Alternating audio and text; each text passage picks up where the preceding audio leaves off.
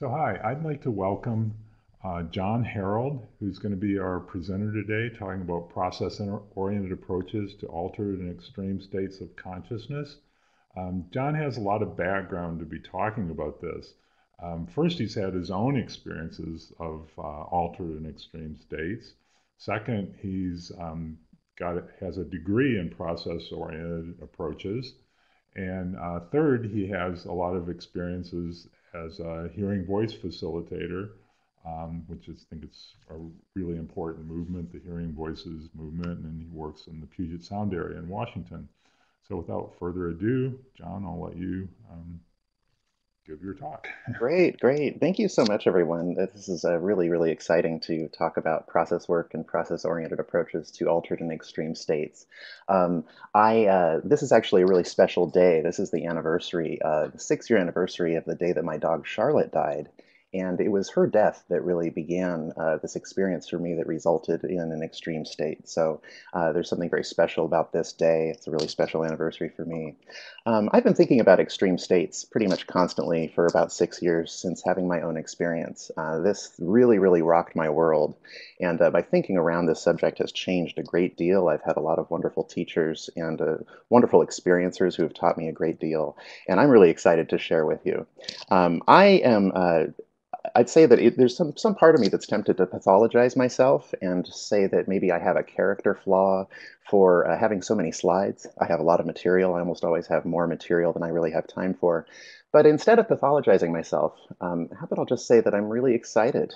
I'm very excited and I have a lot of material and I want to share it with you. So it's really not uh, necessarily a flaw to have so much material. It's, maybe it's a good thing.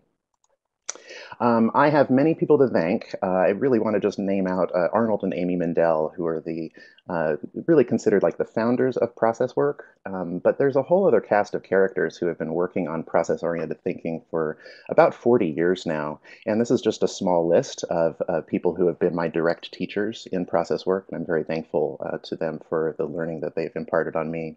And I also want to thank ISPS for making this possible and inviting me to do this webinar. What a, what a great opportunity. Thank you. All right, I want to give a shout out uh, to anyone who's listening uh, right now or listening to the recording. I want to uh, give a big shout out uh, to anyone whose behavior and language doesn't really make sense to those around them. And I want to uh, shout out to anyone who's experiencing a reality that's different from the one that the majority of us think is real. And uh, a big fist bump to anyone who's been told that they shouldn't trust themselves, that they're mentally ill, quote unquote. I always use quotes around the phrase mental illness, uh, but that they're mentally ill for having such experiences. And a big shout out to anyone who's looking for better thinking, better ideas than this thing that we're calling mental illness. So who am I? I'm going to just tell you a very brief story about how I came into process work and uh, a little bit about my uh, experience with an extreme state. I have um, told this story in greater detail and I have some videos on YouTube. So I'm going to uh, go through this fairly quickly so that we can really get into the meat of this uh, webinar, which is process work.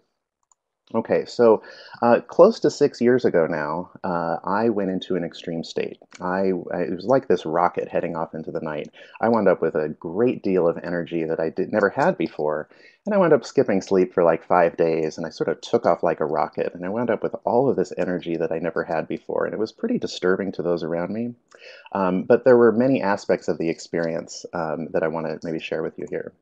Okay, so in December of 2012, I was really like not myself. I was acting in very, very strange ways. I had not slept for five whole days. And uh, I had this very pressured, like fast speech. I was just talking to everybody really, really quick. And my words didn't really make sense to everybody. They made sense to some people, but most people, they didn't really understand what I was trying to uh, communicate. And uh, again, you know, behaving in a way that I normally not. Usually I'm a little bit more of a reserved person. And in this, in this case, I was in everyone's face. I just had all the confidence in the world.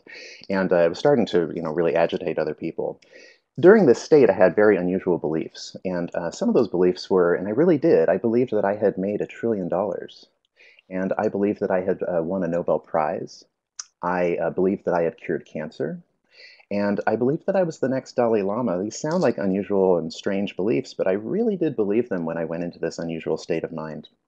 I got to a point where I was starting to see formulas and patterns in everything and started to see formulas in comedy and had become convinced that I had found like the mathematical formula to all comedies. You can imagine, you can see here that my beliefs were getting very, very unusual. Was it disturbing? Yes, it was. It was absolutely disturbing to a lot of the people around me. Okay. But there was more to this experience than just being disturbing. Okay. It was disturbing to those around me, but inside, it was really magical and sacred. Uh, this was um, this was an experience of beauty and unity that I had never uh, experienced before. I felt connected to everything. Um, and that was the time where I started to hear bells. Uh, I hear bells in my left and right ears that tell me yes and no. And these are bells that I hear, but people around me don't hear them. And so this was really kind of the onset of the bells.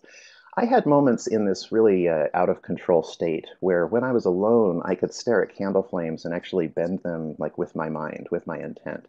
And you can imagine that that probably didn't calm me down to have that happen. It actually only made me more excited to have all this magic enter my life. Um, and this is also the beginning of uh, frequent numerical synchronicity. I have kind of a strange relationship with numbers where they just seem to line up in these really amazing ways. And it's not something that I'm trying to do. The numbers kind of come at me, they speak to me. Um, and that was like waking up from the dream. You know, that's what it felt like. It felt like, well, if life is a dream, then this unusual state of mind is like waking up from the dream. And I was very excited. I wanted to bring all my friends along. And so, of course, I called all of them at like three and four in the morning. And uh, that definitely like, you know, roused a lot of people's suspicion. So in this state with all this energy and all these unusual beliefs, I did find my way to the hospital. And when I was at the hospital, I, I got the prevailing view. Okay. And the prevailing view was, John, you got to calm down. Okay, you are having a manic episode. Uh, you're you're experiencing psychosis. This is extremely disturbing, and we need these problems to like go away now. Okay, and uh, I was told that I was bipolar, that I had bipolar disorder, and, and that that's a serious and persistent mental illness. And all those beliefs that I had uh, about the Dalai Lama and the Nobel Prize, I was told that those are uh, delusions um, which felt like a really steep drop to me because I really did feel those inside in the most genuine way. And after I got out of the hospital, I was very, very angry for really a couple of years. And uh, when I was experiencing so much of that anger, I was told again and again by multiple people, Whoa there, you're too angry, John. Okay, so uh, my anger, my, my feelings had been pathologized, and I like this image of the uh, fire extinguisher putting the fire out. I needed to put my fire out. So uh, that began a very, very difficult year. Uh, 2013 was a really tough time for me. I took a number of different psych drugs. I did a number of very fast withdrawals. I, um, you know, I behaved in scary ways. It's not like coming out of the hospital, I, I was better. You know, in a way, coming out of the hospital, I was still in an altered state, and I was altered from taking drugs, and I was altered from being told that I was sick. So that was a very difficult time of feeling very lost. Now, in the beginning of 2014, I uh, I saw somebody named Gary Reiss, and he's a process worker. And I, I told him about my story. I told him about the bells and the candle flames and the Dalai Lama and the cancer cure. And his response was, Wow, you have a lot of creative energy. That, that's an amazing experience. You know, I think the magic that you experienced was actually real. And I'm curious, John, you know, do you want to ride this horse? Uh, do you want to make meaning out of this experience and maybe share that meaning with the world?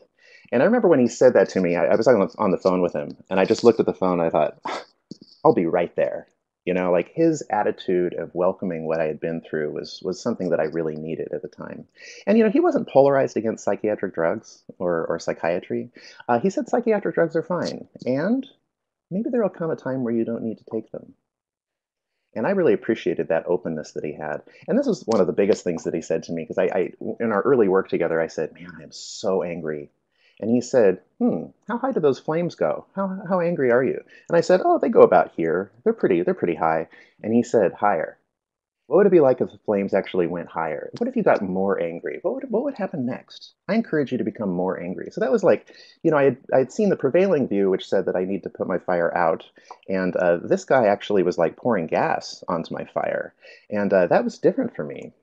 Well, I got hooked uh, by that. I, that. For me, that attitude of uh, acknowledging the, the, the reality of my experience. That's just what I needed. And so I started seeing him, and I still see Gary today uh, as my therapist.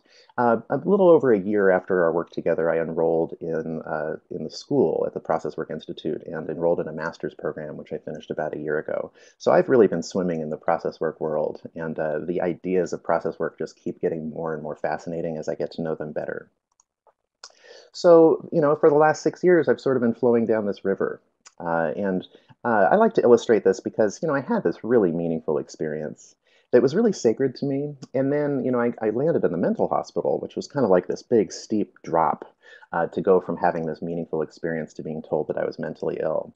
But over time, you know, I started thinking about the bells and the numbers that I see, and I, I recognized that there's something about this experience that was very, very spiritual. It brought some amazing, lovely things into my life. So, you know, I went from meaningful experience to mental illness. Then I started thinking, well, maybe it's a spiritual emergence. You know, there's I can't ignore uh, the beauty in my life uh, that's there. And then I started studying process work, and in process work, they call these altered and extreme states of consciousness. And I've always really liked that vocabulary. There's a level of nuance there that I really appreciate. Uh, but you know, the river keeps moving, and so do I. And in a way, I'm kind of right back to where I started. I had a meaningful experience.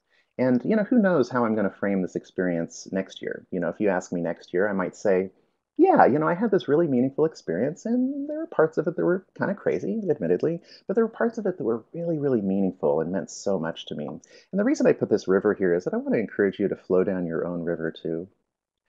Uh, that we don't have to get stuck in diagnostic vocabulary, and that I want to encourage you to exercise the freedom that you have to frame your experiences in the terms that make best sense to you, and just to keep flowing and follow yourself.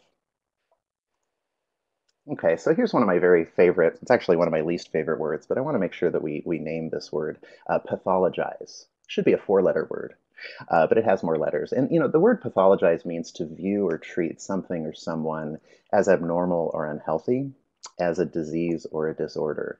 And, you know, the difference between having a meaningful experience and being diagnosed with mental illness is pathologizing. It's the pathologizing that comes in and says, no, that's not a sacred experience. You're sick. You're ill. You know, we need to fix you. Uh, so I'm gonna. I, I want to make sure that we cover that word um, because one of my greatest passions in life is to spread non-pathologizing ideas about this thing we're calling mental illness. And you know, for me, the one of the very first moves to make when it comes to being non-pathologizing is to eliminate that phrase "mental illness" because uh, you know that phrase, it, just even saying that it's ill, I mean, that's pathologizing kind of in the most direct way I can imagine. I'm interested in talking a lot about reality. I, um, I like to promote a deeper and virtual understanding of reality. Uh, the virtual piece is not something we're going to get into in this talk, but I have spoken about it in the past. But we are going to talk about reality and get a little deeper into it. Uh, I uh, have a lot of involvement with the Hearing Voices Network that's played a huge role in my life. I host a non judgmental space for experiencers to be able to share uh, what they've been through, and that's in, in this group called Puget Sound Hearing Voices. And I'm also interested in encouraging other people to find their fire. Whatever that fire is, it can be different than my fire, and then spread it. Uh, spread your fire. This is a flyer uh, for the group that I facilitate, Puget Sound Hearing Voices. Uh, we host uh, weekly meetings every Tuesday night, and they last for an hour and a half. And we're in our fourth year now of doing so. And you know, the Hearing Voices Network is very easy to explain. Uh, this is a group where we, uh, we hold a safe and non-judgmental space for people to come share their experiences, whatever frame they happen to uh, view them in.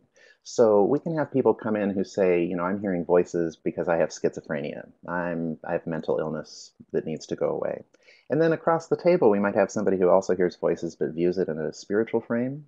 And there might be somebody else there who hears voices and maybe they view it in like a nutritional frame. And by the way, the phrase hearing voices is an umbrella term that actually covers unusual sensory experiences, including extreme states. So, um, you know, people who have had altered and extreme states and maybe don't hear voices, uh, that actually still falls under the umbrella of the Hearing Voices Network. But this group has been a huge, huge part of, of, of my life. Um, both I, I lean on it for personal support, and then I also really enjoy providing that space uh, for people to be able to support each other too. Okay, so let's get into some vocabulary here, because one of my favorite parts about process work is the vocabulary. Um, and instead of mental illness, again, a phrase that I really don't like because it's so pathologizing, uh, let's talk about altered states of consciousness. I like this image here of the train tracks, because, you know, that train track that's heading straight, that's like sort of a normal state of being. And then there's that track that kind of moves a little off to the side, and that's what I think of as an altered state, because an altered state is a state of awareness that's outside the usual way of experiencing, perceiving, and expressing. Uh, you know, an example of an altered state is falling in love. That's sort of a different way of being, but we don't really get pathologized for falling in love. In fact, we often get celebrated for falling in love. But falling in love is not usually a state that gets us diagnosed as psychotic. okay, even though it is a little different than the normal way. Now, uh, falling in love may not be called psychotic, but extreme states of consciousness, that's generally where people do get called psychotic. And uh, just for this definition, we'll just define an extreme state of consciousness as, as one that is very far outside normal. And you know, the phrase normal is really just variant and dependent on the on the particular culture. There are cultures where if you don't hear voices, there's something wrong with you. Okay, so uh, it, it, it, really depends. Um, and I, I, just put that little asterisk there. Uh, there's more to come here. Okay, uh, we're starting out with very simple definitions and we're going to get a little more complex as we go on. So, you know, the familiar message, like, you know, I'm telling you, I'm flowing down that river from the meaningful experience to mental illness. The familiar message is that altered and extreme states are, are garbage, right? They're junk and they need to go away. That's why we call them mental illness. And um, there's nothing meaningful in having unusual beliefs. Those are delusions. You've departed from reality, you're out of touch with reality, and that experience needs to go. It's that kind of attitude that caused me to have to flow down from having a meaningful experience to mental illness. So pathologizing philosophies are all around us. Altered and extreme states are kind of like a hot potato, okay? In that when when we get altered, uh, sometimes it's like the hot potato and we want to just, ah, I don't want to take it. You know, you, you take it. And so sometimes we experience being altered, but then we don't really let it sit with us. We pass it off onto somebody else. And so, you know, altered and extreme states are deeply marginalized um, by ourselves when, when we go into them, and they're also marginalized by other people. The reason why I put the city, the, the potato there is that this is an example of something called the city shadow. Okay, this is a concept in process work. And the idea there is that the altered states are something that we don't really hold. Okay, we pass them off onto other people. Well, those altered states are going to land somewhere, and they end up landing on the more sensitive of us. Okay, uh, people who can hold the pain of other people. And so uh, it's not that altered states really belong to that group of people, it's that altered states have landed on that group of people because the mainstream, the people who are living in the city, won't acknowledge their own madness. And uh, that's why it has to land on certain people. So I, I would encourage people to hold the hot potato a little longer and maybe not give it up quite so fast. I like this image here of a pit maneuver. It's where a car is running another car off the road. And I often think of the pit maneuver when I imagine uh, altered and extreme states because, uh, you know, the phrase mental illness is like running people off the road. It's like saying, hey, this is not a meaningful experience. That needs to go away. And, you know, most of us fear unusual states. Even I fear unusual states in myself and in other people. I can feel that hesitation. And, uh, you know, the earliest evidence that we fear unusual states comes when we're children Okay, like when I was a child, I remember being called weird, crazy, nuts uh, by people because maybe I was a little uh, uh, different uh, than most of my classmates. And, uh, you know, the very strongest evidence of this marginalization of these states is the concept of mental illness. Uh, I just I don't even know uh, where to start uh, with my complaints about that phrase because the pathologizing is actually in the vocabulary and it denies us meaning uh, from these experiences. And you know, there's nothing objectively sick about unusual states. I think we call them sick because we're so uncomfortable with them. And I personally found the notion of mental illness to be uh, really overpowering. Uh, I didn't really feel like I had any agency when being viewed as mentally ill. And you know, the phrase, the concept of mental illness, it polarized me against myself. Okay, because you know this unusual state came from within me, and to view it as mentally ill, it actually caused me to sort of go at war, uh, go to war against myself, and that, that wasn't terribly helpful. And you know, not every culture or context views unusual states of mind as mental illness. Okay, there are times uh, where maybe this is viewed as a healthy thing and not something that needs to go away. My very, my very favorite um, concept of the contextual nature of uh, extreme states and mental illness is Beatlemania. You guys remember Beatlemania? Uh, where the Beatles would come to town in the 60s and then these people would just lose control of themselves. They were so excited about the Fab Four. And, you know, the behaviors that these people uh, exhibit uh, in the presence of the Beatles, that does appear to be mental illness to me. I mean, like if you took the energy that these people have in the presence of the Beatles, and if you just took them out from that situation and pluck them into like an emergency room with that same sense of elatement and excitement, I suspect that they would be diagnosed with bipolar disorder. Okay, but somehow losing control of ourselves in the presence of the Beatles is it's okay. Okay, and you know, back to the contextual nature of altered states. Imagine if the Beatles came to town and everyone was going really wild for them, and then you were not uh, aroused at all. Okay, imagine if you were just completely bored by the fact that the Beatles were in town. If that were the way that you reacted, that actually would be considered like an altered state because your lack of reaction to the Beatles is now sort of outside the usual way of being, which is all of this uh, excitement and elation, which is interesting. So it's very, um, very contextual. And it's, it's like there's some altered states that are privileged, and there's some extreme states that are privileged, and Beatlemania would be a good example of one.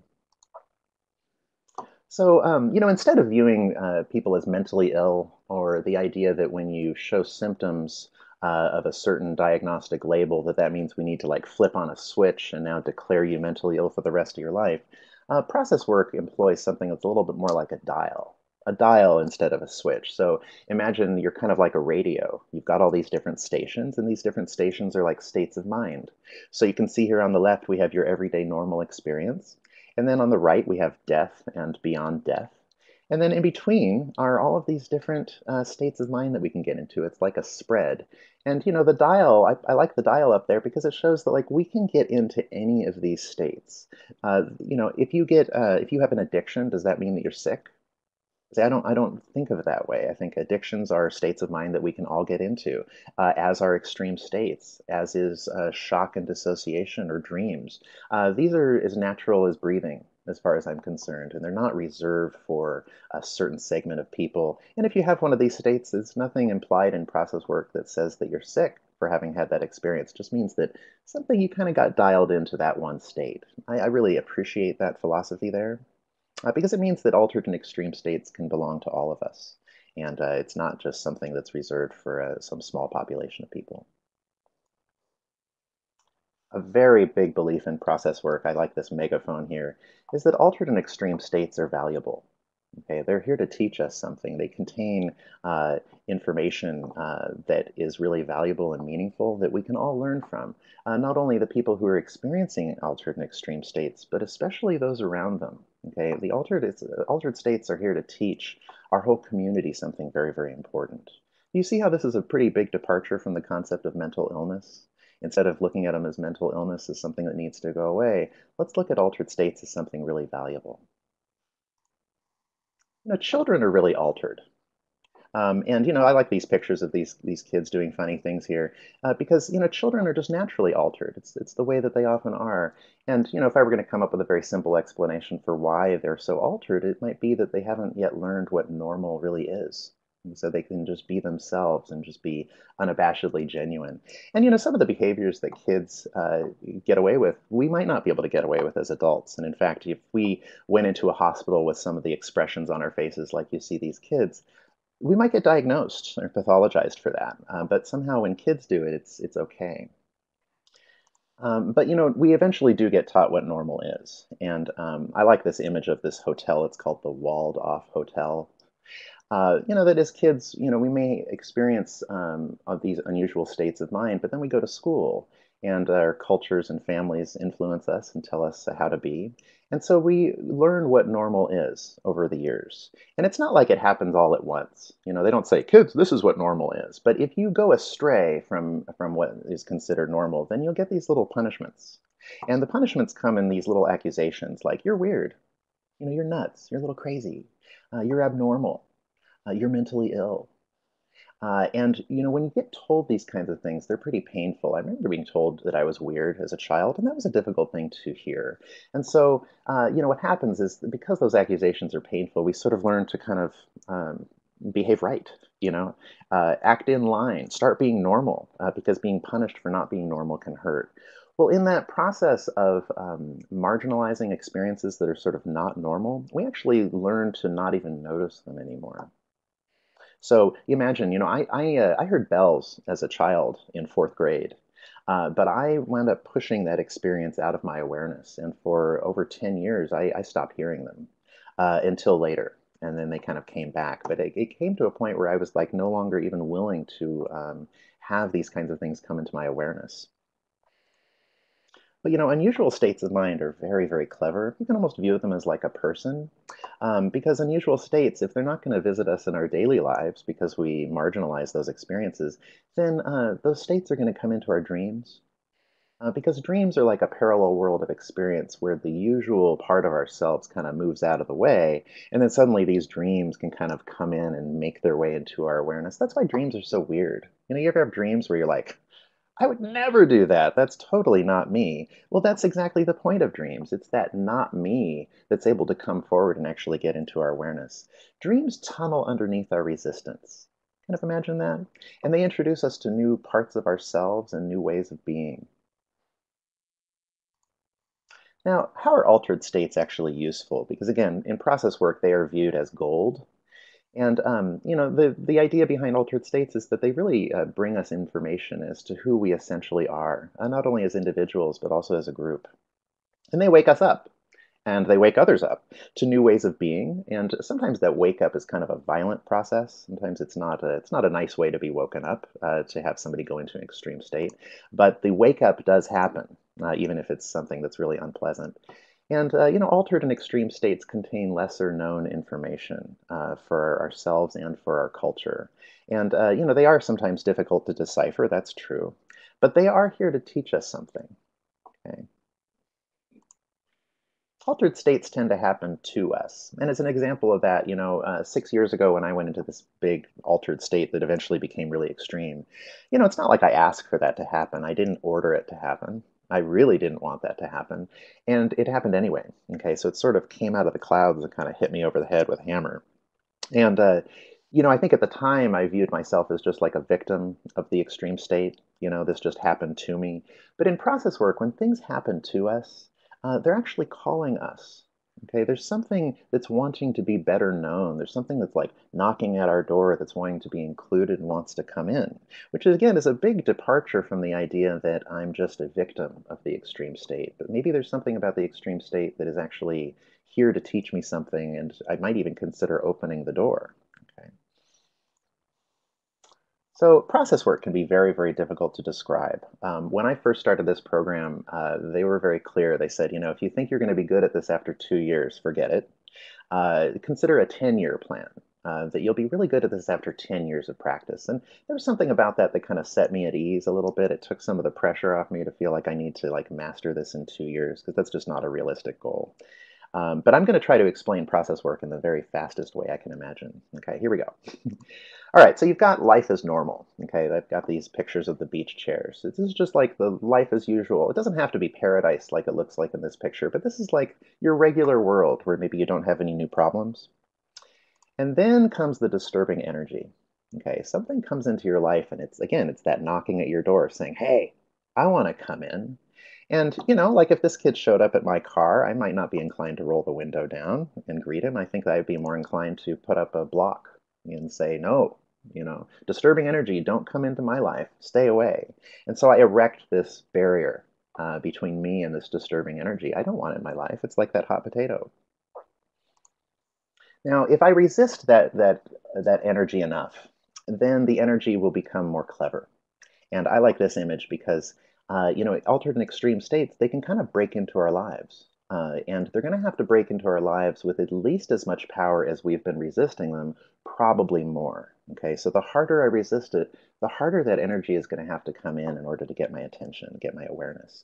And I would say that uh, when it comes to things that are trying to get our attention and our awareness, uh, you know, they can use lots of tricks to get our attention. It could be a disease, it could be an accident, it could be an unwanted relationship. It could be strange coincidences. But I personally believe that one of the most clever tricks that uh, a process can do to get into our awareness is an altered or extreme state. To me, that's like the most clever move that something can take to uh, come into our awareness and get into our minds. So where do altered states come from? Uh, we're going to uh, talk a little bit about process structure. Um, and uh, I, I, was taught this in the very, very first residency of the process program, and it's, it's been one of the most valuable ideas. Okay, so all of us are like mountains. Imagine that. We're all like mountains. And um, most of us are more familiar with one side of the mountain than the other. Okay, so uh, you know we we go into that familiar part of ourselves. We know the ropes. We know the the way through it. Uh, we know how to manage the risks in that part of the mountain. And so that's like the familiar part of ourselves, as illustrated here on the left. That's also called the primary process. It's the familiar experience. It's how we identify ourselves. Now, on the other side of the mountain, there's actually a whole other part of ourselves. And uh, this is a part of ourselves that we generally don't have some familiarity with. Sometimes that's a part of ourselves that we don't really like. Okay, that's maybe a little disturbing when we look at that part of ourselves. And so if you climb up the familiar part of the mountain and you get up to the very, very top, and then you look over the top into that part of yourself that you don't really know, that, that little area is called the edge. And, you know, the edge is really like the top of a mountain. You're climbing up the top of the mountain, you get to the edge, you peer over the other side. Holy cow, there's a whole other side of the mountain there that I never really knew. Okay.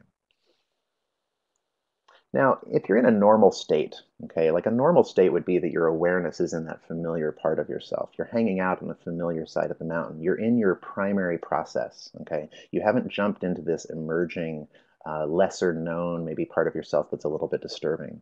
And so, an example of like a normal state or my primary process, my very primary process is that I'm a person who doesn't sing in public. Okay, that's not me. Okay, uh, singing in public is not me. So, like the part of me that's actually like a lounge singer, that's on the other side of the mountain. That's like, you know, I don't really identify with that part of me. Okay. Um, and you know, if somebody asks me to sing in public, then this is sort of what I imagine in my mind. There's some figure inside me that says, "Don't go there. You're going to sing out of tune. You're going to embarrass yourself. Something bad is going to happen." And so I tend not to do that. But uh, sometimes I do. I mean, like you know, buy me a beer you know that, that might that might cause me to kind of be able to jump over my edge and pick up that microphone and actually start singing. So here's an illustration of like an altered state okay? So you know i was in that familiar place and then i jumped over the edge and i actually picked up the microphone and i started singing. Well singing in public for me is a little bit of an altered state. Um, i get a little trancy when i do that. And uh, you know if i'm singing in public i might say you know i'm usually not like this but here we go. I'm going to do it. Okay, so that's me like jumping into that lesser known part of me, the emerging part of me. Now, when I sing in public, uh, here's what happens is that I, I get really nervous and then I decide to do it and then I pick up the microphone and then I blank out and I sing. Okay, but I'm not really that aware when that happens. I go somewhere else when I'm singing. And then when the song is over and I put the microphone down, suddenly I'm kind of back Okay, so I got into kind of a trancy state. I tend to get into trancy states when I sing in public, and that's actually exactly what happens when we get to our edges. Okay, when we reach the limits of what we know and we go into an experience that's not so known, we get a little altered. Okay, that's the process work framework of how altered states come about, is that we go into that part of ourselves that's maybe not so familiar.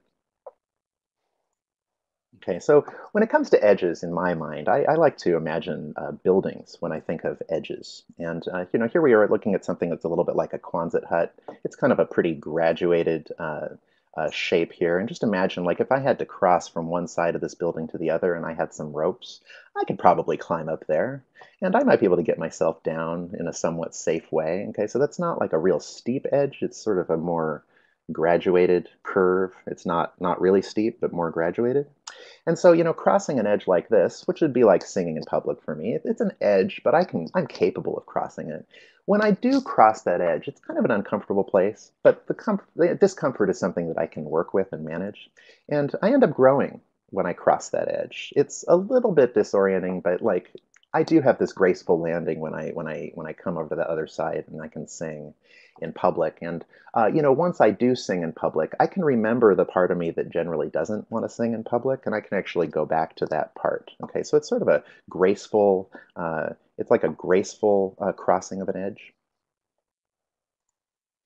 Okay, now imagine a very steep edge. Okay, so this is the Transamerica Pyramid in San Francisco. Uh, imagine that you have an obstacle in yourself that's really, really steep. Okay, um, like for example, like, you know, before 2012, if you had asked me that if I'm a mystical person, I would have said absolutely not. No way, that's not me. And if you bought me a beer, that would not cause me to become a mystical person. Okay, that's a much steeper edge than that. And so, you know, to cross an edge like that, for me, I had to develop a lot of energy to get up to the top of that edge.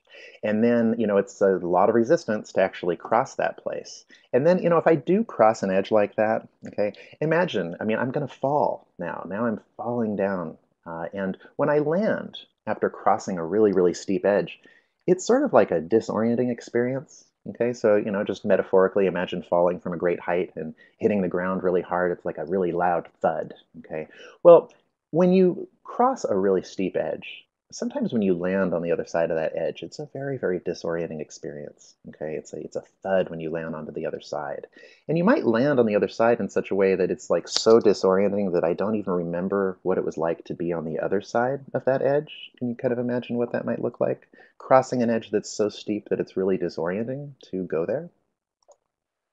Well, this is where we get into one of the more advanced ideas in process work, which is uh, one of the frameworks for what extreme states are. Okay, and that extreme states can be viewed as like a process inversion. Okay, and what I, what I mean by that is that suddenly now, you know, we have those emerging and familiar parts of ourselves. What if those two parts actually change positions? Okay, and now that I am um, the familiar John is like off, you know, he like headed off into the night, he's gone. And now all I'm left with is that secondary part of myself, that other part that I don't normally know. Now, a way to illustrate that would be the here we are back to the process mountain. And uh, remember that, you know, usually it's the familiar part of ourselves that lives here on the left hand side of the mountain. Well, this time, all I'm left with is that emerging part of myself. That's all I identify with is the part of me that I usually don't really know or don't really like. And that familiar John, the one who's like well spoken and kind of reserved and polite, he's gone. Okay. And all that's left is this John that's really in everyone's face, very forward, talking really fast, and has all this energy. Well, you know, if you if you experience a process inversion, uh, there might be language like John needs help you know, John isn't himself. Maybe John's mentally ill. And it's not that John's mentally ill, it's that John's uh, processes have been inverted. Okay, can you kind of imagine that? And I put this image here of uh, Dorothy from The Wizard of Oz because, you know, when our processes invert, we're not in Kansas anymore. Okay, we're, we're in a new environment. We're in a new place that's very, very different uh, from what we were familiar with.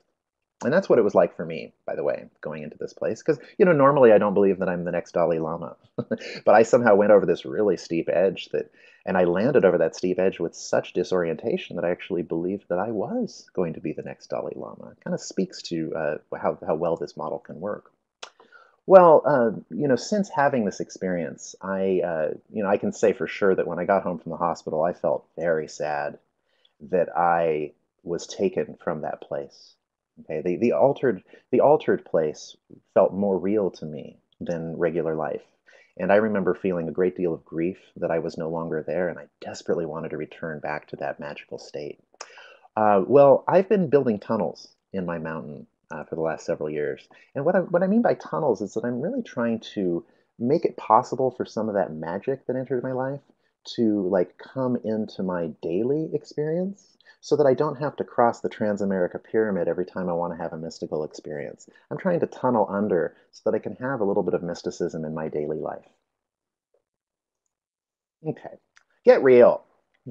Let's talk about reality. This is one of my very, very favorite uh, topics because, you know, if you've been diagnosed as uh, psychotic or mentally ill, there's a voice in the background, sometimes it's right in the foreground, that says, you're out of touch with reality. You're not in reality you're having an unreal experience or you're hearing voices because I don't hear those voices, your voices mustn't be real. And I have a big problem with that.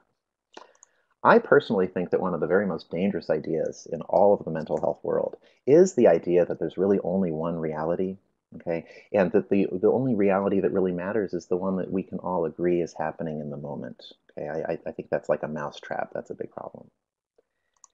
And uh, the antidote to this problem is the ice cream cone model of reality. Again, one of my very favorite concepts in process work. Uh, and the reason I like the ice cream cone is that it accommodates all experiences of reality, whether or not those experiences are actually shared with other people. And uh, this model of reality, I like to talk about it a lot. It has three components, uh, consensus reality, dreamland, and essence. And we're going to get into these three uh, different levels of, of reality here. So the first level of reality is consensus reality. And the, the reason we, we, talk about the ice cream cone is that, you know, when you get an ice cream cone, there's actually ice cream like sticking out of the top of the cone. So that's the ice cream that you can observe, you can see it, you can taste it. And so that stands for the reality that we can agree is actually happening in the moment. And so this is a part of reality that's like anything that can be measured. Okay, it's the observable material world. It's the world of physical form. Uh, and again, you know, it's commonly assumed that this is all of reality. Okay, because remember, you know, I had this experience of believing that I was the Dalai Lama, Am I the Dalai Lama? Like, clearly not. And so, because I'm not the Dalai Lama in consensus reality, it was considered uh, that I am out of touch with reality because I believe that I'm the next Dalai Lama. Well, the, this this ice cream cone actually can make room for having experiences that aren't shared. Now, in in consensus reality, uh, consensus reality is dualistic, and what I mean by dualistic is I am not you. Okay, like we are separate from each other in space. And you're not going to hear language like that. I am you. Okay, I am not you. You and I are separate people. That's just a natural fact of consensus reality. Now, as we fall down the cone, okay, if we if we drift down the cone a little bit, we get into the part of the cone where there is ice cream there, but we can't really see it or taste it yet because it's kind of trapped inside the cone. And so that stands for like the reality that we can't necessarily observe and see and agree is happening. Uh, and that's like anything that's present, but it isn't really being mentioned. Can you imagine that? Uh, it's where your emotions live. It's where your dreams live. It's where a lot of your like subjective experience lives uh, things that are happening in your body. You might have something happening in your body that's different from those around you. That's like a dreamland experience because it's not something that we can all share and acknowledge is happening to all of us at the same time. Uh, that's a very important part of reality.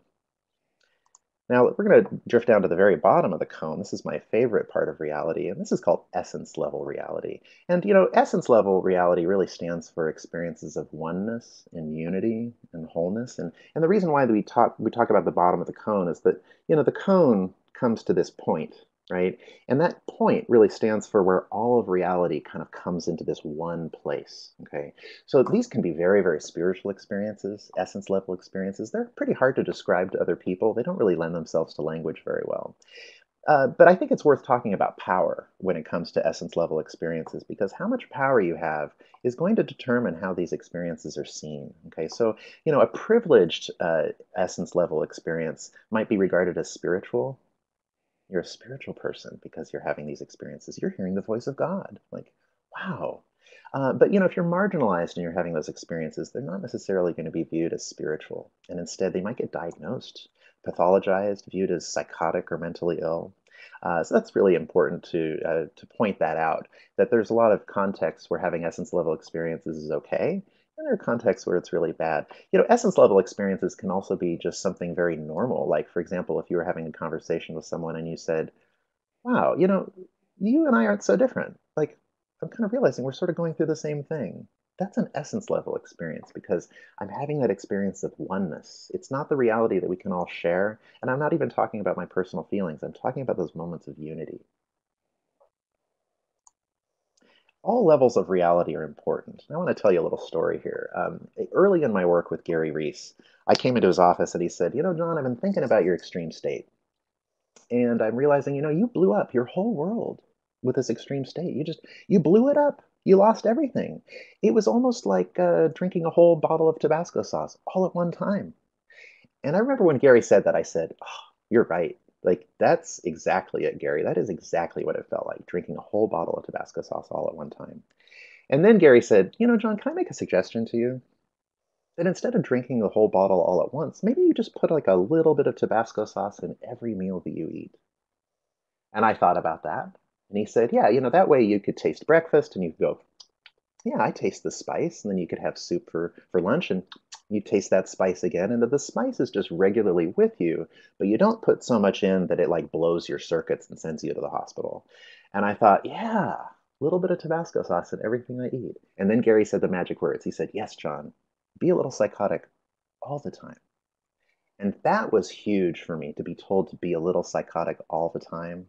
Uh, because what he's saying is bring that essence level experience into your daily life. Straddle the levels of reality. Don't get stuck in consensus reality. Don't get stuck in dreamland. Don't get stuck in essence. That sent you to the hospital. Uh, straddle all of them at one time. And I really, really enjoyed that idea. I think about that just about every day because I'm always looking for the magic. I'm always looking for that experience that came in the extreme state. It's with me in my daily life. My job is to recognize it and actually kind of bring it into my awareness. So another way to think of extreme states is when we get stuck in one level of reality. Okay, can you imagine getting stuck in an essence level of reality? I did. Uh, when I got hospitalized, I was in that essence level place. I was connected to everything, and uh, I would say things like, "I am you." Okay, and can you imagine if you walk into a hospital and you say, "I am you"? Okay, that's a that's a tough thing for people to hear if they are kind of married to consensus reality. Uh, you know, you could get stuck in your emotions. Can you imagine being so stuck in your emotions that you can't really deal with consensus reality? Or, uh, my favorite, can you imagine getting stuck in consensus reality? Can you imagine getting stuck in a place, the world of facts and figures, uh, in a way where you can't really go into your emotions and you certainly can't go into like an experience of oneness and unity because all you can see is the world that we can all agree on. That's actually a type of extreme state in its own way. So, um, you know, if you're talking to somebody who's maybe not really making sense to you, there might be a little part of you that's tempted to say they're not in touch with reality. And what I want to do is just encourage you to think a little differently. Uh, that maybe instead of asking if somebody's in touch with reality, ask where are they in the ice cream cone? Okay, because I mean, how could you not be in touch with reality? You're a real person, and if you're a real person and you're having like an unusual experience, to me that doesn't mean that you're out of reality at all. You're still in reality. You're just maybe experiencing something that's a little different from the rest of us. And the ice cream cone makes plenty of room for those experiences that aren't being shared um, and you know, think about like where is somebody in the cone and how fluid are they at being able to move through the cone? Okay, so like you know, when I was having that experience of thinking that I was the next Dalai Lama, if you had come up to me and said, you know, John, your gas bill is due next week. How are you going to pay it? I would have said, I'm the Dalai Lama. I'm the Dalai Lama. Like I, I can't get into consensus reality because I'm having this really, really deep essence level experience, and I couldn't straddle the cone. I couldn't move up and down my cone. I got stuck in the bottom of the cone and I got pathologized for that. Okay, so what I've been working on is to grow more fluid in my own cone and encouraging other people to become more fluid in theirs too. Okay, so in process work, uh, there's something called the two-state ethic. And uh, just for a moment, instead of viewing reality as a three-level experience, just imagine that there's two realities. There's the reality that we can share, and then there's this reality that we can't share. Okay. And a two state ethic means that if you're working with somebody who's in a really altered place, that you can live in both states at the same time. Okay. I can I can live in their extreme state. I can actually go there and join them in that place. You think you're the Dalai Lama? Great. What are you going to do next? You know, I'm not going to fight you there. And um, I can hang out in consensus reality at the same time. And I might be able to ask you questions about how are you going to pay your rent? Okay. Um, but I can live in both of those worlds. I don't have to be stuck in consensus reality. And if somebody comes at me who's having like visions or voices, I, I don't want to be in that place where I say, well, because you're experiencing a reality that, that is not mine, then it's not real. Instead, I'm going to straddle. Okay, I'm going to be in both reality we can share. I'm going to join you in the reality that we can't share. And I'm actually going to bridge both worlds at the same time. Now, what are extreme states? You've heard me use this phrase extreme state a couple times. We're going to start to get a little more technical with process work. Um, these are going to be some more frameworks for how to understand um, uh, what extreme states are. And, uh, you know, we talked a little bit about the inversion, the inverted process structure. That was Dorothy and the Wizard of Oz. Um, we're also going to talk about something called a meta communicator. Okay, uh, that when we go into extreme states, we lose the ability to meta communicate. We're going to talk about what that is. A meta communicator is the observer in you. Um, when we go into extreme states, we often have trouble following the feedback of other people. And in process work, that's called a feedback loop. We have a reduced feedback loop. And uh, I put this wave up there to describe that in extreme states, that's usually like when the state kind of takes us over, kind of crashes on us. Uh, I know for me, like when I was in an extreme state, I, I had very little agency uh, over consensus reality. And instead, all the themes that were emerging in the extreme state were just coming at me so strong. I really didn't feel like I could believe anything else. And, uh, you know, we were talking about the hot potato. Okay. Extreme states happen um, when others won't pick up their own madness. Okay, so like when the when the broader group, kind of the broader public or mainstream, when they won't pick up their own sense of madness, then that's going to land on people really, really hard. That's the city shadow concept. Okay, so what is a meta communicator? Okay, um, there's a part of all of us that we call the meta communicator, and that's like the observer in us. That's the part of us that's sitting up in the balcony and it's like looking down at the whole theater from this elevated position and can actually see like pretty much not only the whole show but also the whole audience um, and so that's the part of me that's sort of sitting up there and it's looking down and it's saying, oh, wow, John, you know, I noticed that you're sitting at your computer giving a webinar right now. And I notice that maybe you're a little cold. Like, you know, I just notice those different experiences in myself. Uh, that's the inner observer in me. That's the observer that's like watching. Okay, we usually take that part of ourselves for granted because that part of ourselves that observe that's observing is usually like part of the scene. Uh, and you know, the meta communicator is like a weather reporter. Can you imagine that? Like it's it's the person who's keeping the awareness, the awareness keeper. They're holding the awareness and they're sharing that awareness with the the viewers. And it's really a matter of like noticing and reporting what's there. You know, it's not a matter of like judging what's there. I'm not judging um, the temperature of the you know the weather. I'm not judging the weather conditions. I'm just noticing what they are. I'm not creating uh, the weather either. I'm just noticing what it is. Okay. Um, now imagine if you have no meta communicator. Okay, imagine if the if you lose that part of yourself that's capable of like observing and noticing what's happening. And uh, you know, in this, I would illustrate that as like somebody who is in the theater, but they're in the seats. They're not in that elevated position looking down. They're like right in it. That's a good image for what I imagine what we're like when we don't really have so much of a meta communicator. Um, and you know, like when I was in the state, I, I didn't say, you know, I'm really noticing that I'm feeling very rich and abundant. Okay, that's that's that's meta communication. That's the the observer might say that. Instead, it was like, oh my God, I'm a trillionaire. I'm the Dalai Lama. I cure cancer. Okay, so that part of me that can notice what's happening is gone. Okay, and instead I'm like in it. I'm in the state.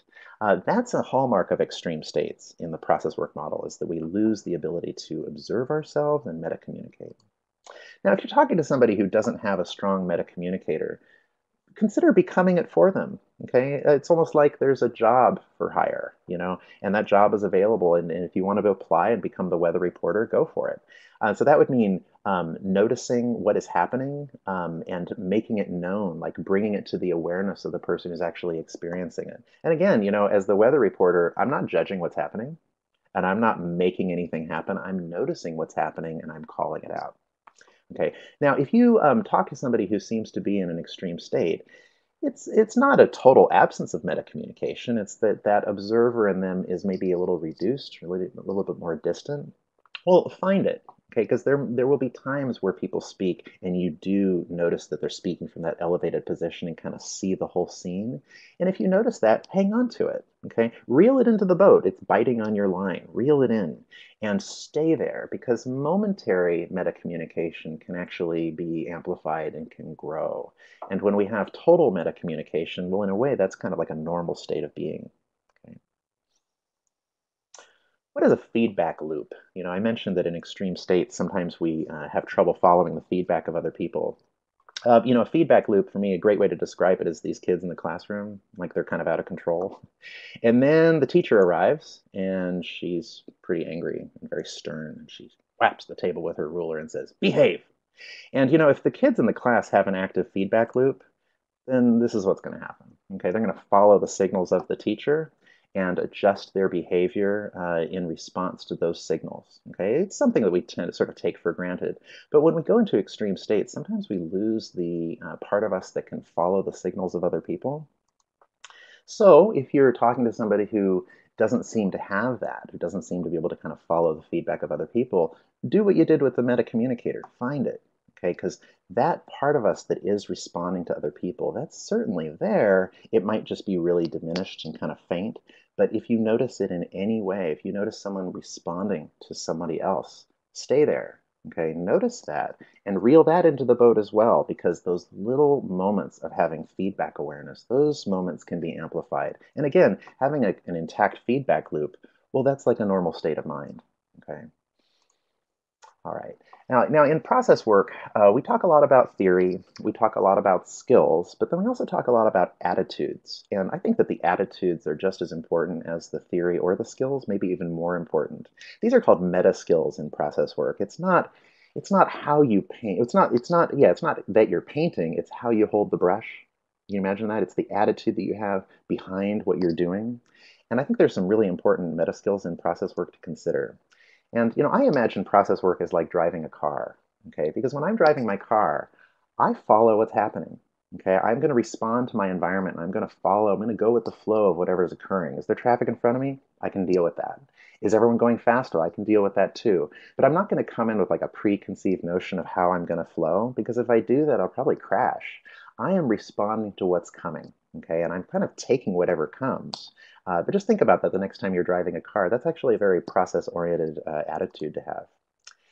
Something valuable is always trying to make itself known in unusual states of mind. Um, it's remember the trash. It's not junk.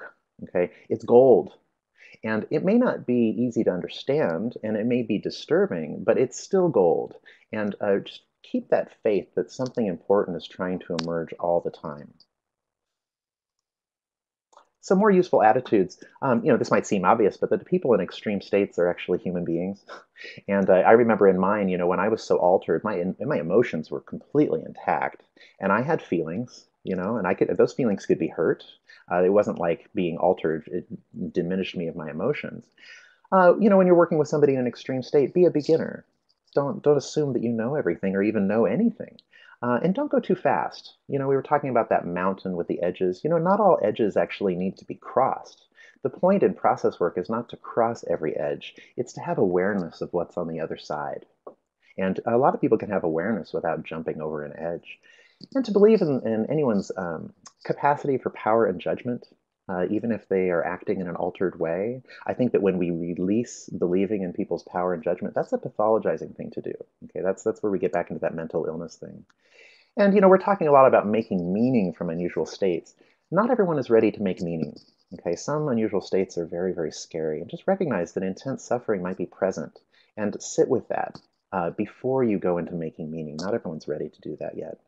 And remember that, you know, extreme states don't really belong to the people who are having those states. Uh, those states actually belong to all of us. They're like the hot potato. And if we could own our extreme states a little bit more, then maybe they wouldn't land on other people. But that, that means that unusual states actually belong to all of us.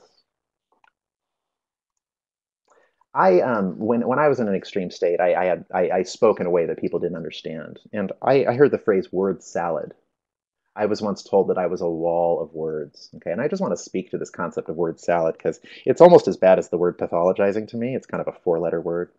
And I just want to say that, you know, when I was going really fast and I was kind of moving from symbol to symbol and I had this very like loose kind of stream of consciousness type of thinking, I didn't make sense to other people, but I made perfect sense to myself.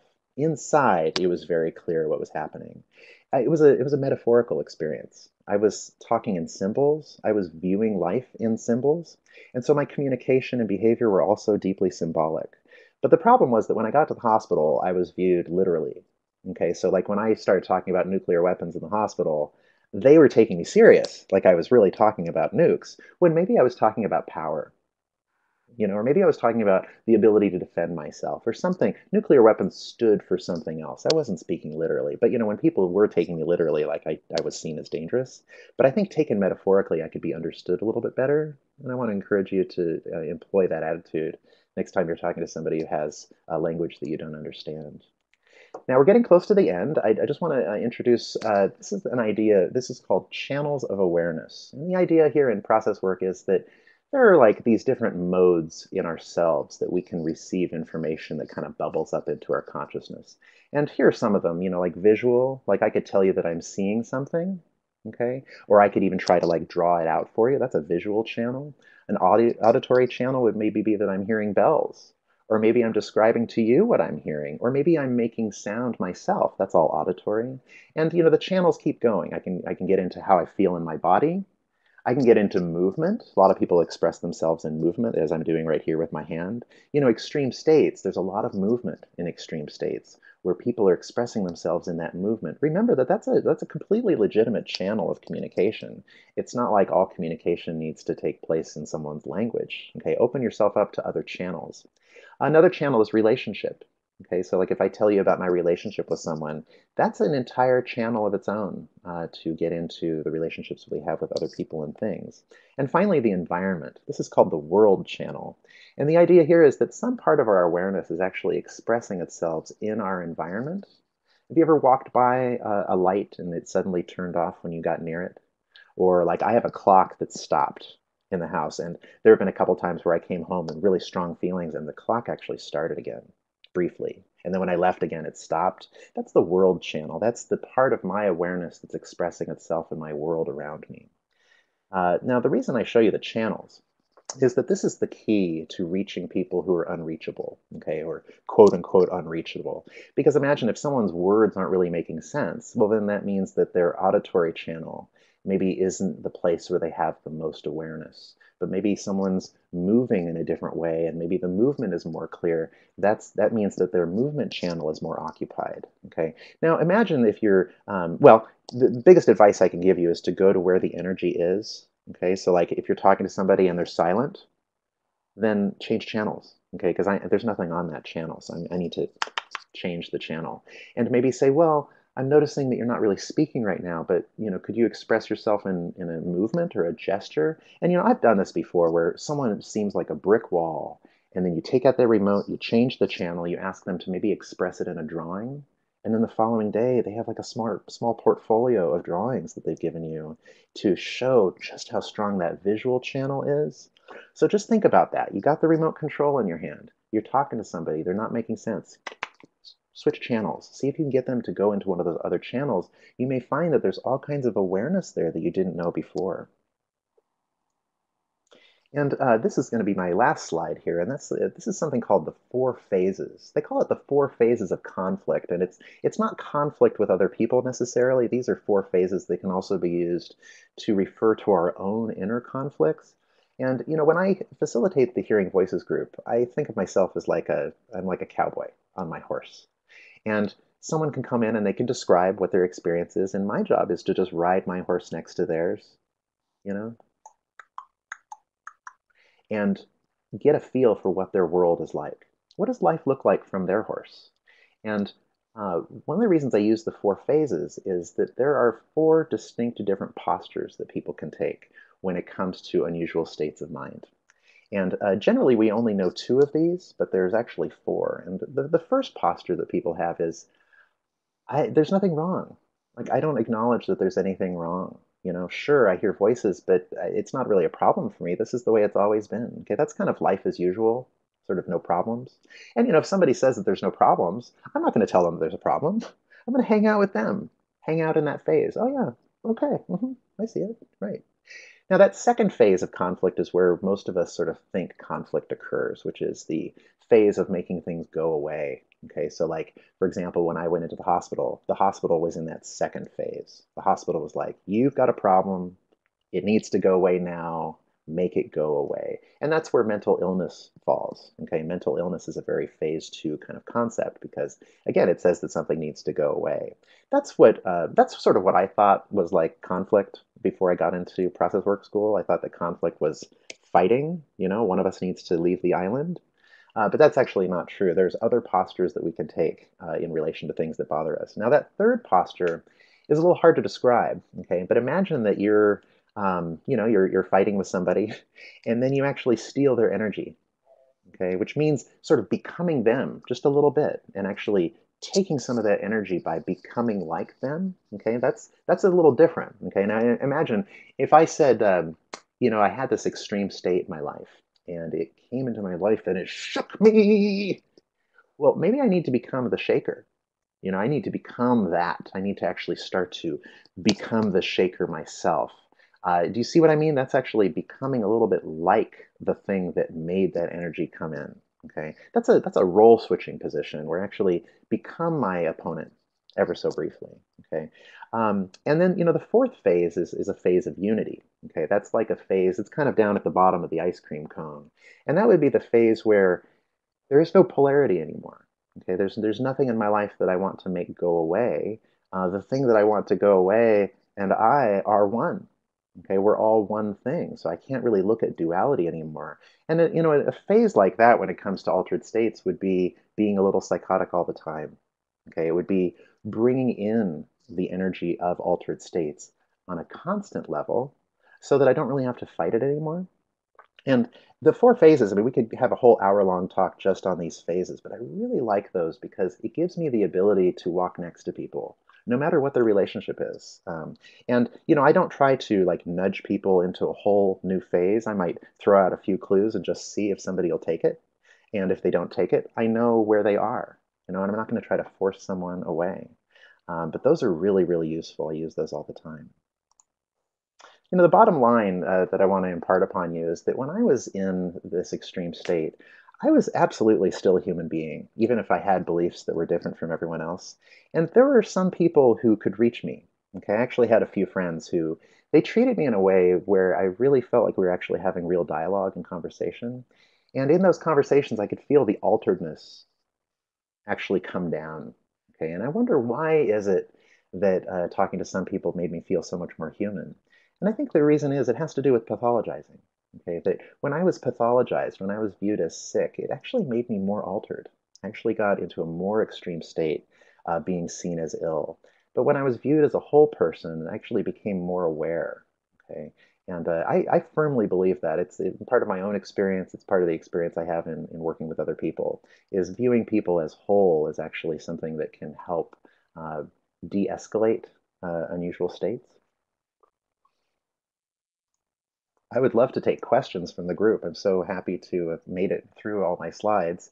And uh, um, yeah, I would just love to open it up and interact um, and see if you have any questions that I can answer. All right. Yeah. yeah. Um, so Jen, um, let's see, she says, one thing you mentioned early on about your own relationship with your experience was don't throw the baby out with the bathwater. It's a phrase used in the book Unshrinking Psychosis. Um, let's see, I'm having a hard time getting this cool question. Um, I, I, can pick it up. Suggest after an extreme and altered state, uh, keep keep what was working for you, the value. Which brings me to my last comment. I attended the film Hearing Healing Voices in Vancouver a few years ago. When I sat down in the large audience, I felt the word value come to me. It was as people's truths were speaking to me. There is value to these extreme and altered states. I feel that you did a great job at nurturing our own and society's view and recognizing and maintaining all that precious value. Thank you. That, what a lovely comment. Beautiful. Yes, throwing, throwing out the baby with the bathwater, right? I mean, that was, for me, that was the year 2013, because in that year I was throwing it out.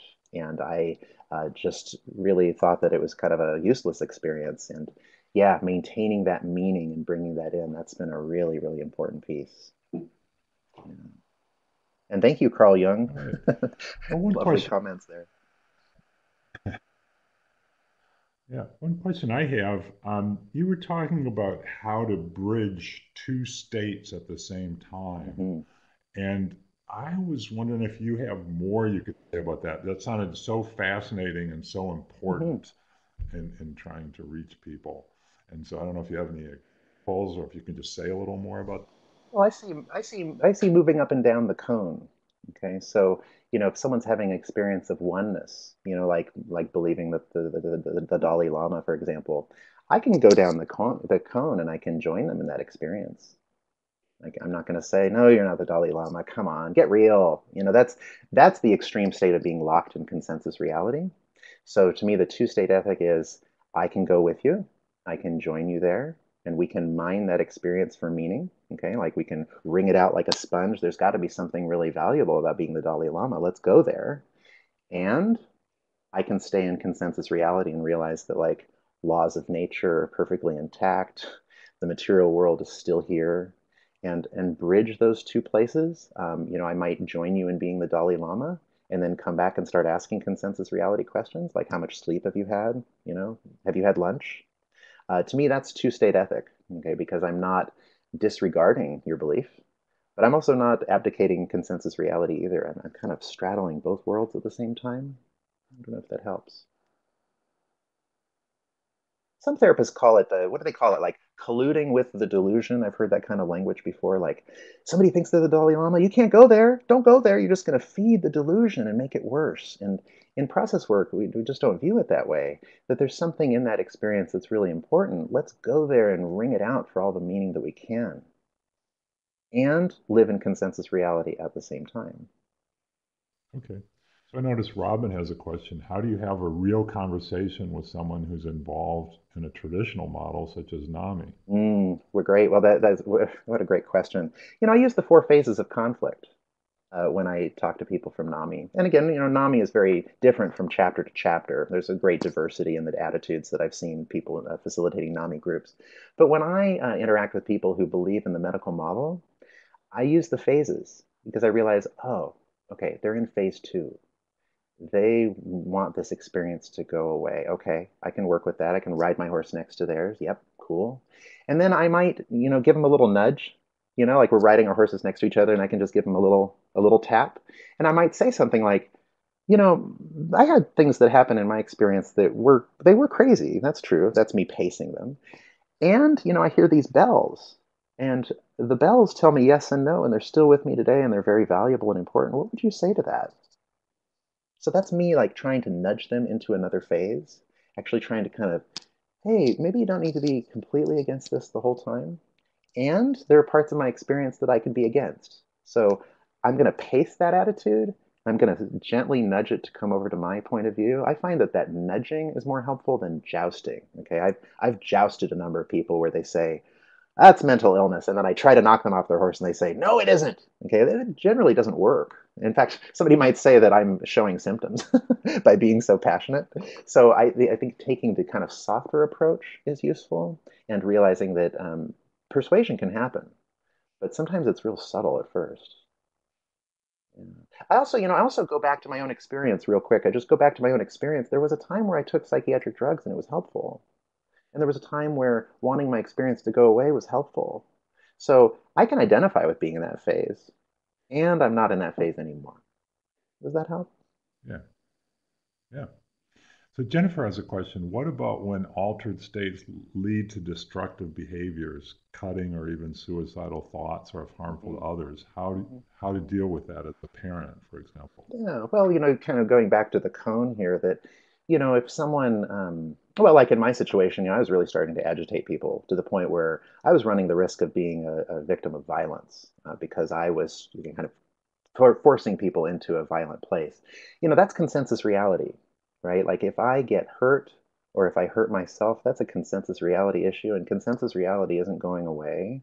Okay, so to me, you know, all three levels matter, including the level of reality that we can all agree on. So, you know, like cutting is, is dangerous, it can be risky. That's a consensus reality issue.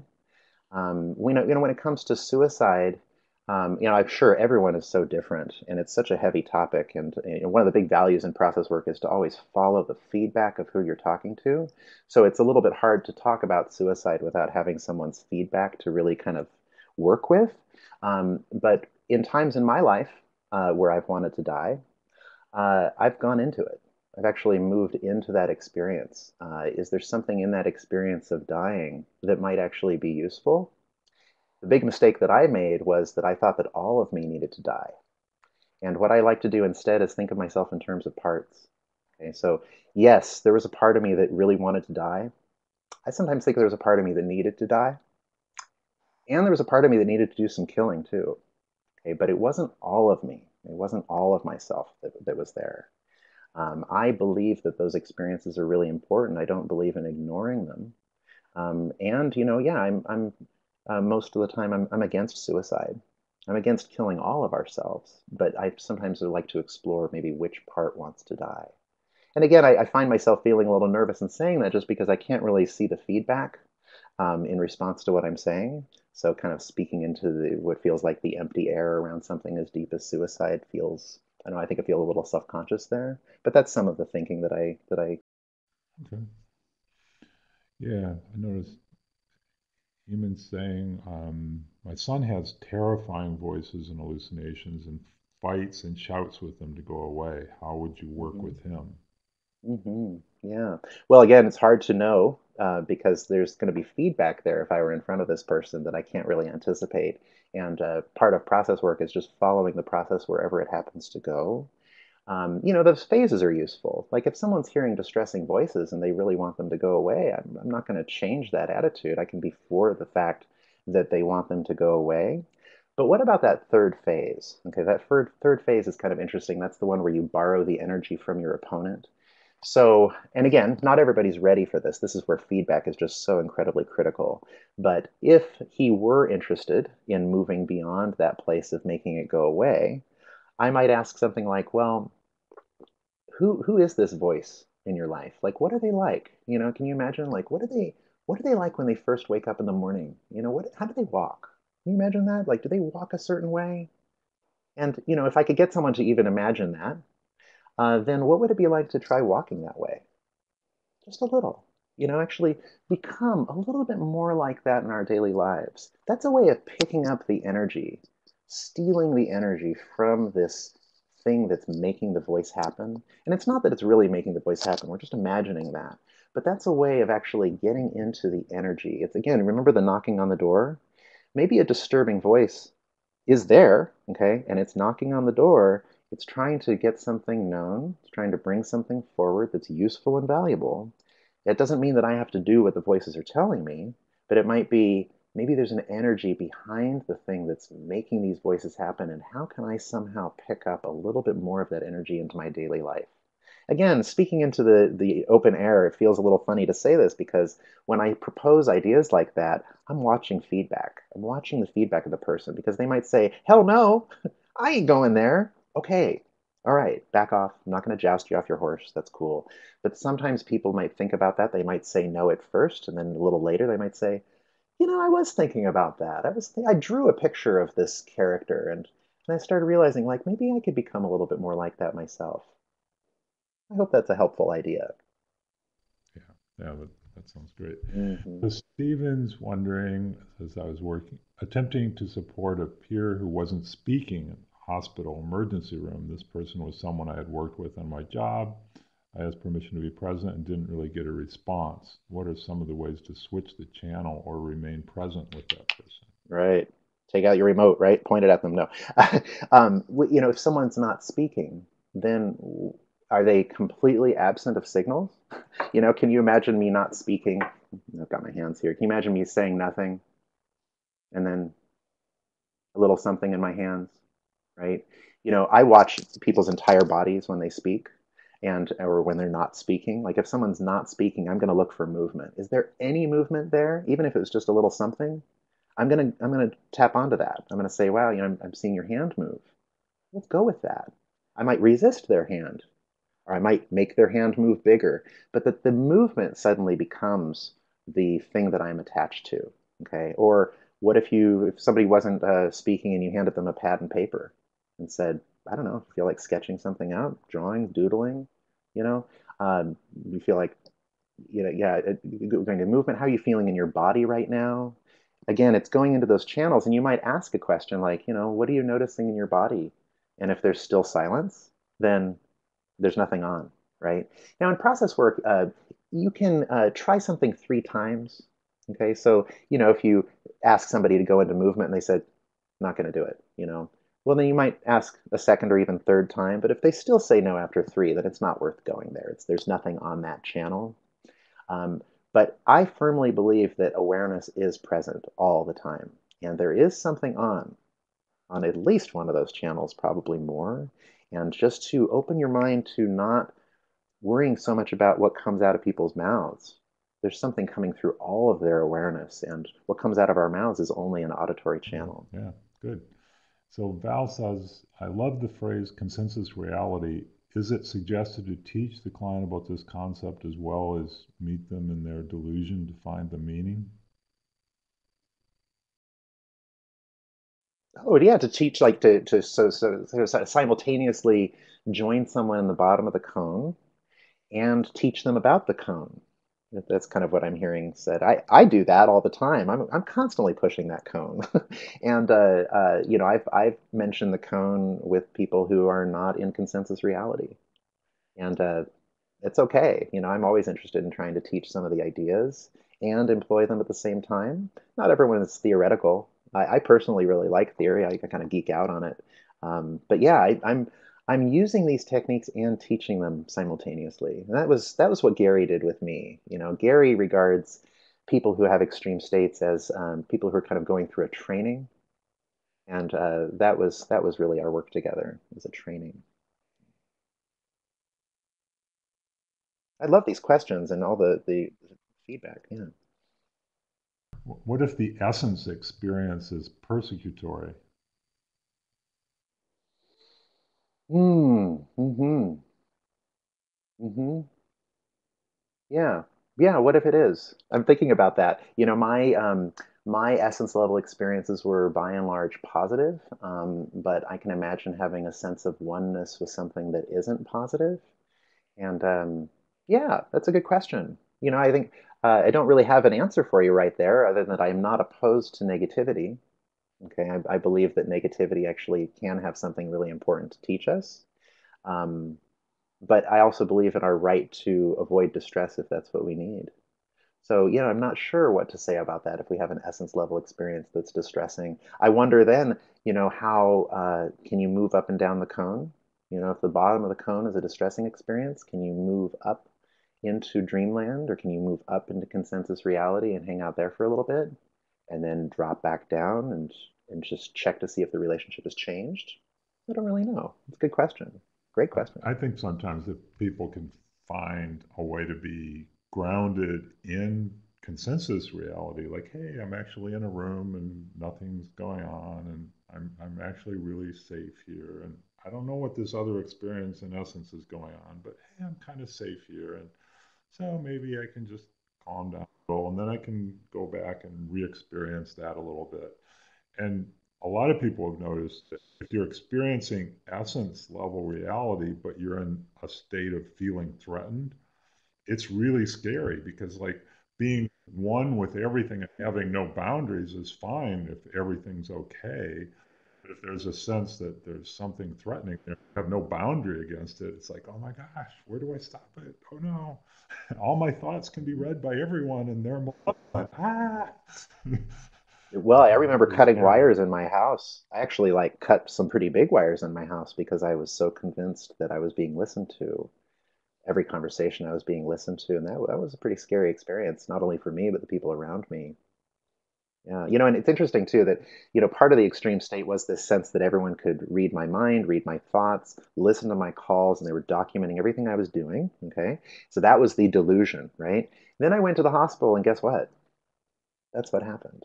There are these people at computers.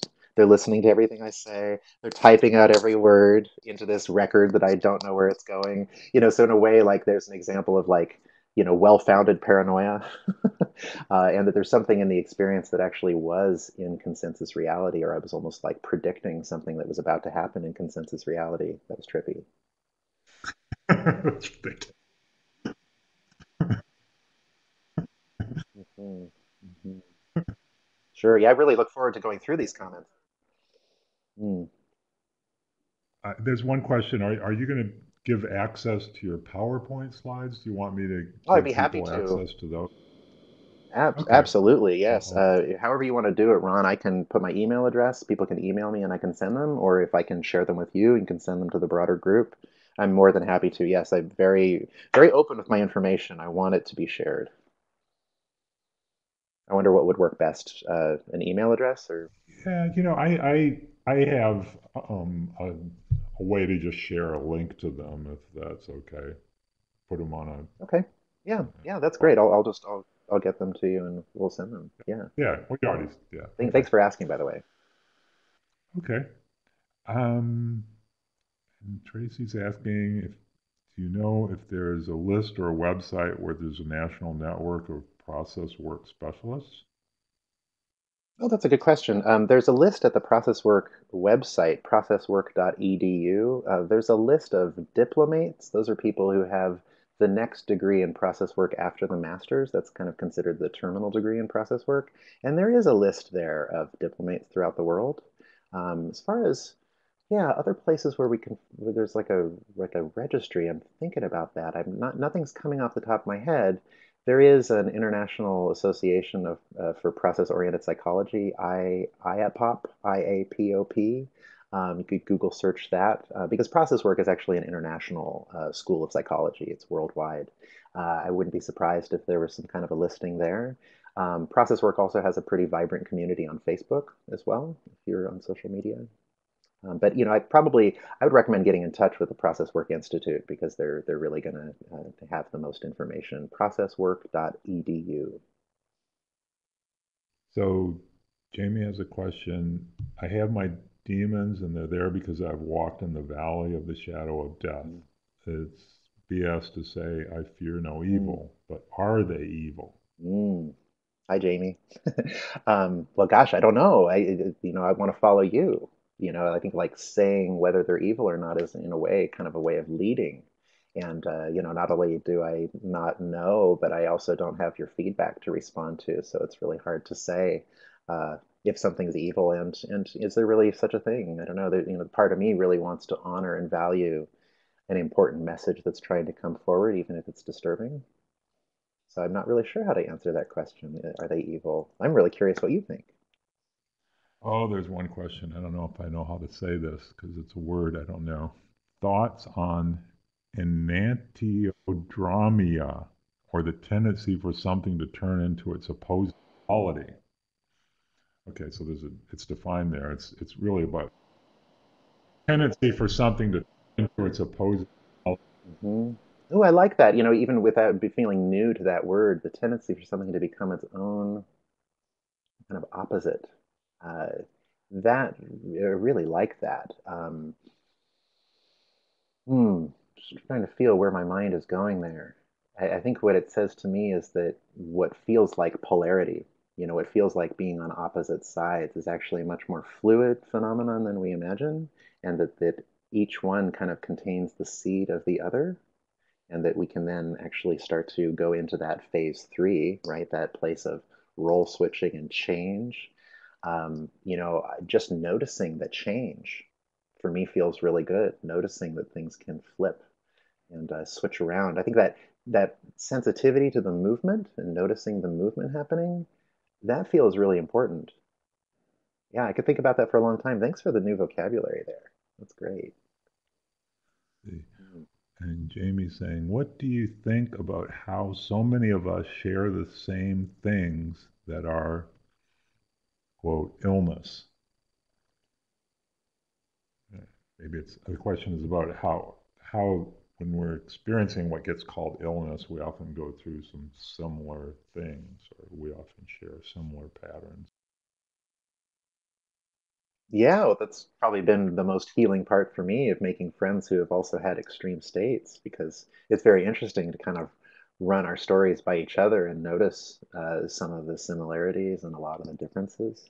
Um, but you know, I just had a conversation with uh, my friend Danielle, and she was describing parts of her experience that I hadn't even remembered in mine because that's how few people I've run into who really have been there. And when she started describing her experience, even after six years of sort of developing greater safety, I felt even safer. Something kind of dropped in even more and just hearing her describe her experience. Because again, you know, essence level experiences are very hard to lend themselves to language. They're hard to describe. And uh, some of my best moments have been with other experiencers and who actually have had some success at being able to articulate what that was like. I felt really unified there. Yeah. Yeah, that's a that's a really good question about why why the experiences are common. It's, it almost makes me think like something's knocking at our, at our door as a society, and it's trying to teach us something really big, and it kind of using individuals and putting them into extreme states to kind of let the broader group know something that's really meaningful and important. Yeah, these are great questions. I wish I I wish I had uh, more concrete answers.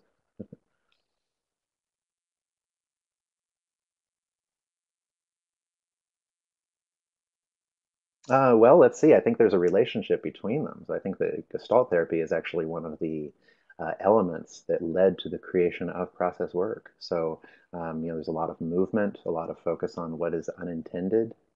Uh, yeah, or being able to like sum up your whole thing in one movement and then get into that movement and start mining for meaning. I'm not a I'm not a Gestalt expert, uh, but my therapist was was Gestalt for a long time. Um, so yeah, I think that there is a relationship between them. Process work tries to integrate, um, and it's almost like a uh, how would you say, it's like a meta philosophy. Uh, it's a philosophy that tries to incorporate all these other branches of psychology and actually kind of create a framework that can, uh, yeah, it can kind of shine light on all of them.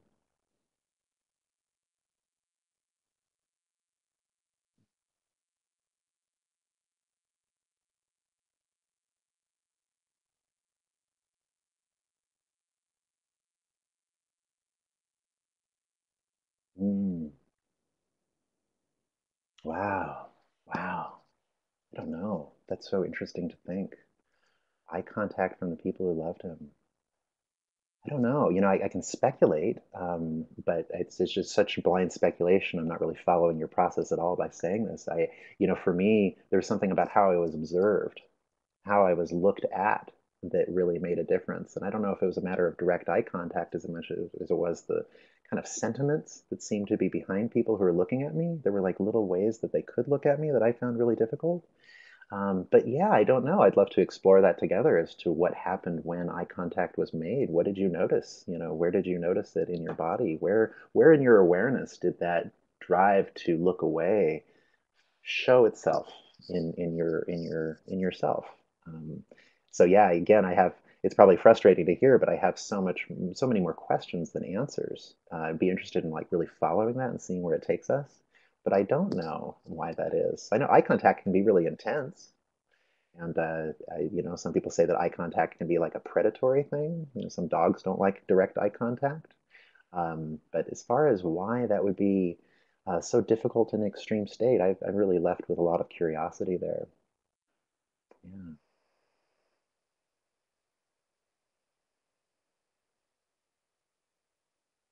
Mm.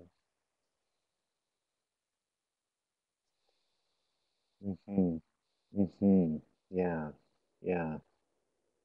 And it's, you know, when I when I propose process-oriented thinking or I start asking those questions, there's part of me that's always watching and watching to see what your feedback is when I throw out these ideas. And if you get energetic, well, then we're going to go there.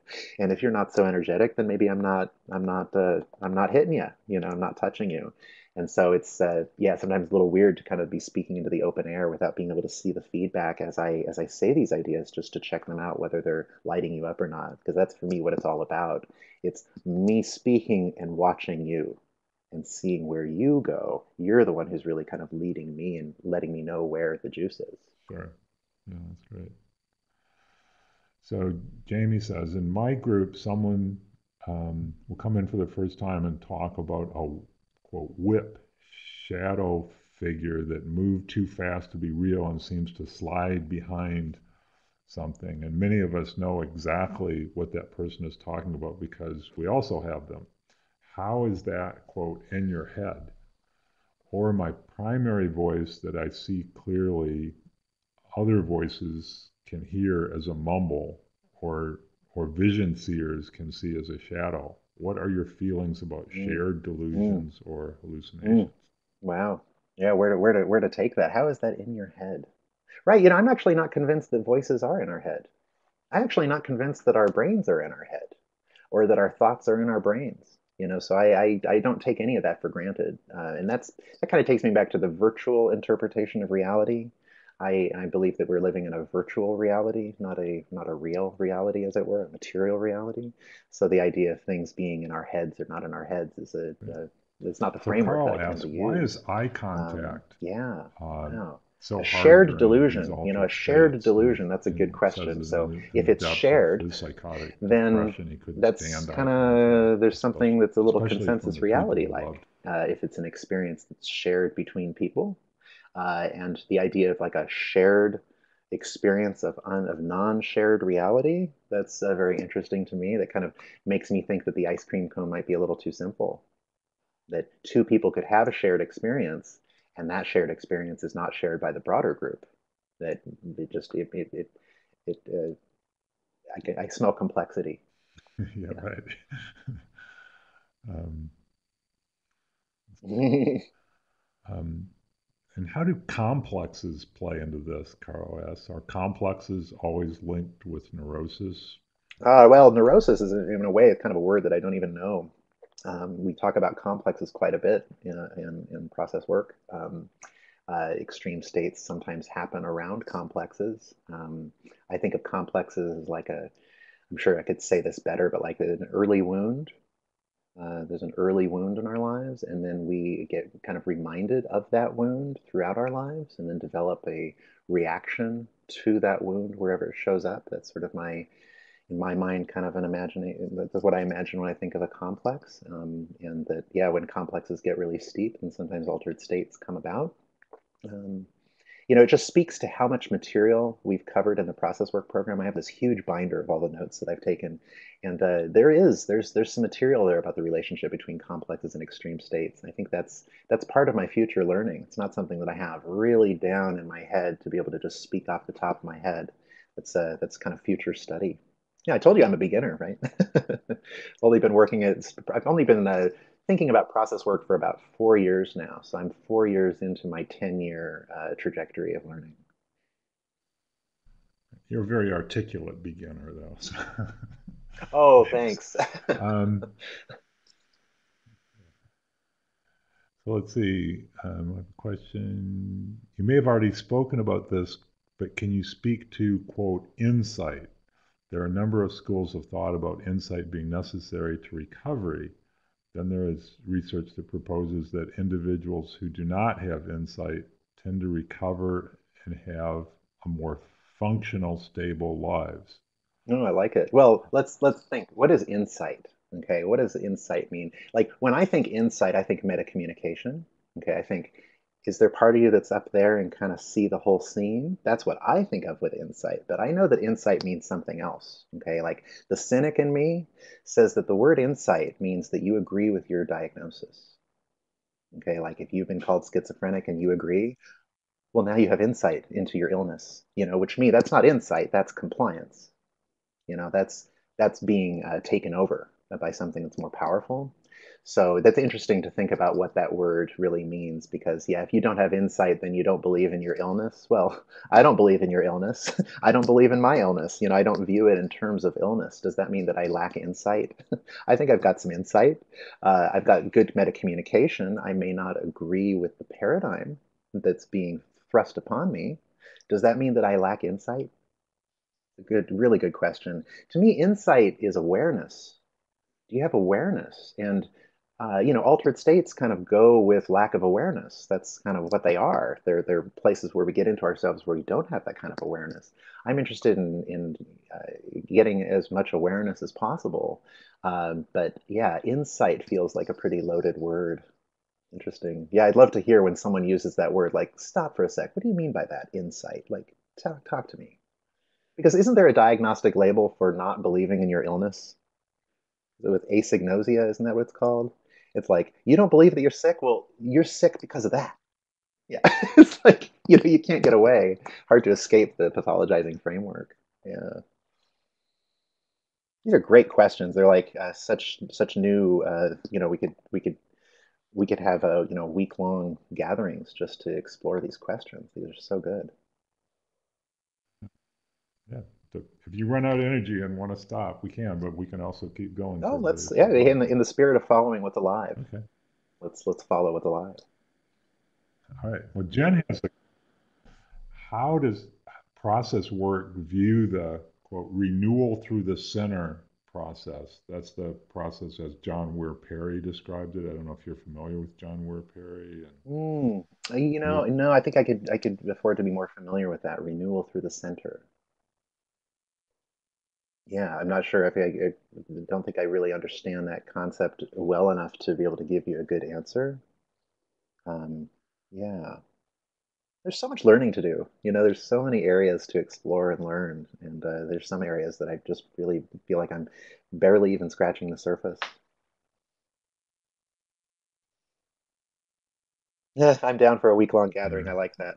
Carl says, talk about mm. synchronicity. Uh, Synchronicity, yes, uh, synchronicity. Yeah. Um, well, I don't, you know, where to start. I mean, I, you know, I, well, you know, we were talking about singing out loud. You know, going over the edge of singing out loud. The other day, I, I visited a nursing home you know, to talk about giving a talk there. And on my way, as I was driving, I started singing Tony Bennett, which I usually don't sing Tony Bennett. It's kind of in my mind. And then when I get there, they're singing karaoke and there's a guy singing Tony Bennett. And I'm like, wait a minute, that's so weird. I was just thinking about him, you know? And then there comes a time where someone starts singing a song, um, I'll Never Fall in Love Again. And right as they start singing it, I start thinking about Dionne Warwick. And I started thinking about a song that she sang. And then I realized, wait, that song that they're singing is by Dionne Warwick, but I had no idea. So why, what's going on with these coincidences of me like thinking things that are related to what's happening, but I didn't have any like visual input to let me know? So that was a day of really strange coincidences. There were a lot of synchronicities happening. Um, you know, my relationship with numbers is is really amazing. Uh, of like, you know, waking up in the middle of the night like in a kind of a sweat, and then thinking, oh, I wonder what time it is, and then you know, taking out the phone and seeing that it's not only 222, but the battery's at 22%, so it's 22222. That's the kind of life I live, where numbers like dance in front of me and kind of flirt with me. I'll see 333 and then it'll change to 334 the moment I see it. It's kind of like it's like flirting with me and then disappearing. So I do have a lot of synchronicity in my life of just amazing coincidences. And I'm really left with a lot of curiosity around what that means. I really don't know. You know, what does that mean? I uh, right now I'm taking it as it maybe it means that my life is on point like that I'm doing the work that that is is the right work for me to be doing. That's certainly how it feels today. Uh, there was a long time where I didn't sense purpose in this experience, but as I've gotten more on purpose, I get more and more synchronicity in my life. But I don't know. I, I you know sometimes when I get the numbers, I'll read online. I'll say, what does it mean when you see 1234, 1, 2, 3, 4? You know, and then people come up with these explanations that they believe that they know what that means. And there's some part of me that feels really skeptical um, as to you know really understanding exactly what the mean what it means, but the coincidences and the timing in my life are too much to ignore. But as far as what does it mean, I really I don't know. Do you have answers? Tell me. Playing with me. Right. No, I do. I feel like I'm being flirted with and kind of teased a little bit. You know, the bells also have a very um, trickster kind of uh, relationship. They will sometimes chime in and answer questions that I really don't need to know. And then if I ask important questions, they don't chime in at all. so they sort of have their own character. Um, yeah, I love synchronicity, and I'm still left with a lot of curiosity as to what it's all about. So here's a question um, regarding Eamon's asking regarding feedback on tormenting voices they discussed and shame him. My son does not want to talk about them. How could I help him? He doesn't want to talk about them. Okay, so back to our channels. Okay, he's not expressing his auditory channel in expressing his awareness of the voice. That's what I hear when you say he doesn't want to talk about them. Then I think I wonder if there's any other channels there. I wonder, like, could he ever draw them? Or could he um, speak to how they move? Or speak to maybe like the feeling that he gets in his body? Or can we move on to those other channels? Is there a way that he might be able to express his awareness in a channel other than speaking? And, you know, if he really doesn't want to talk about it, maybe he's in that that second phase of don't go there, you know, and, and that's worth pacing as well. I don't want to I don't want to push someone into expressing something if that's not where they are. Um, and at the same time, a lot of us say that we don't want to talk, but maybe part of us really does. And there's maybe kind of a mixed signal in there of, I don't want to talk. And then maybe something does actually want to share. But I really like those channels because, yeah, maybe somebody that wasn't doesn't want to talk and maybe they're, you know, their hands tapping or maybe their foot's shaking, or maybe they sometimes make some kind of a movement. I'm going to track into that movement. And I'm going to do that movement with them. I'm going to notice it. I might want to try to make it a little bigger because I think that in the movement is probably the same energy that would come out as if he were speaking. And if the verbal, that kind of auditory channel is closed at the moment, then whatever that is that was going to come through in his words, it's going to come through in another one of those channels. I just need to be quick with my remote and be able to tune into which which channel is the process currently flowing in. I don't believe that the process just stops. Maybe when we die, um, but I, I, believe that when we are uh, when we are alive, the process is trying to communicate itself, even if it's not through our words. It's you know sometimes I compare process work to being like a safe cracker. Remember people used to crack safes? Sometimes they would sand their fingerprints to make their fingers like really really sensitive, and you can kind of feel the the mechanism inside the safe. Sometimes I think that in process work, that's what I've been doing to myself. Is I've been sanding my fingerprints to become more signal aware. Okay, so I'm like more sensitive when I when I watch people speak. I'm watching their feet as well as their head, and my eyes are like moving up and down their whole body to watch for the signals because maybe there's going to be a signal that's going to come from somewhere else, and I want to be sitting there with my fishing pot, my fishing uh, reel, and getting ready to reel that into the boat the moment I see it. So I'm not totally attached to what comes out of people's mouths. Another thing too is that I'm not like when people do speak, I'm not really attached to the words. That's content. I'm really more attached to the energy. So energy over content and all the channels over just the ones that come out of our of our mouths. Sometimes I think the universe is just playing with me.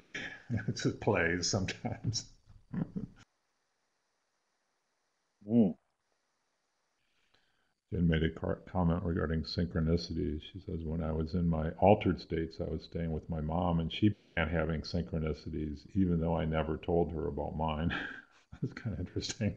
Oh, isn't that great? That's so cool. I really like that because it's like, yes, is there some kind of an experience that's like mutually co-arising two different people? It's both happening at the same time, even though there isn't communication happening between those people. I love that. It's so interesting.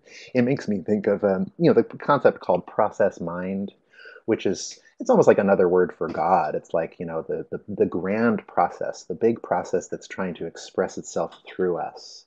Uh, that's it just yeah, really makes me think. Like fascinating that there could be kind of a parallel process happening between two connected people when they're not really communicating directly with each other. It just speaks to how connected we all are. It speaks to living in a virtual reality is what it speaks to in my mind. Great, it's beautiful. So we have a question about, could you talk some about how dreams are useful in process work? Mm-hmm. Dreams are central in process work um, because dreams are that that they're that place in yourself where the normal primary process moves out of the way. Okay, so the normal part of yourself moves out of the way. Now that whole other emerging part of the mountain can come forward and can come in. So dreams really do stand for uh, sort of unfinished experiences or incomplete experiences, things that are wanting to happen, but we won't allow them to happen.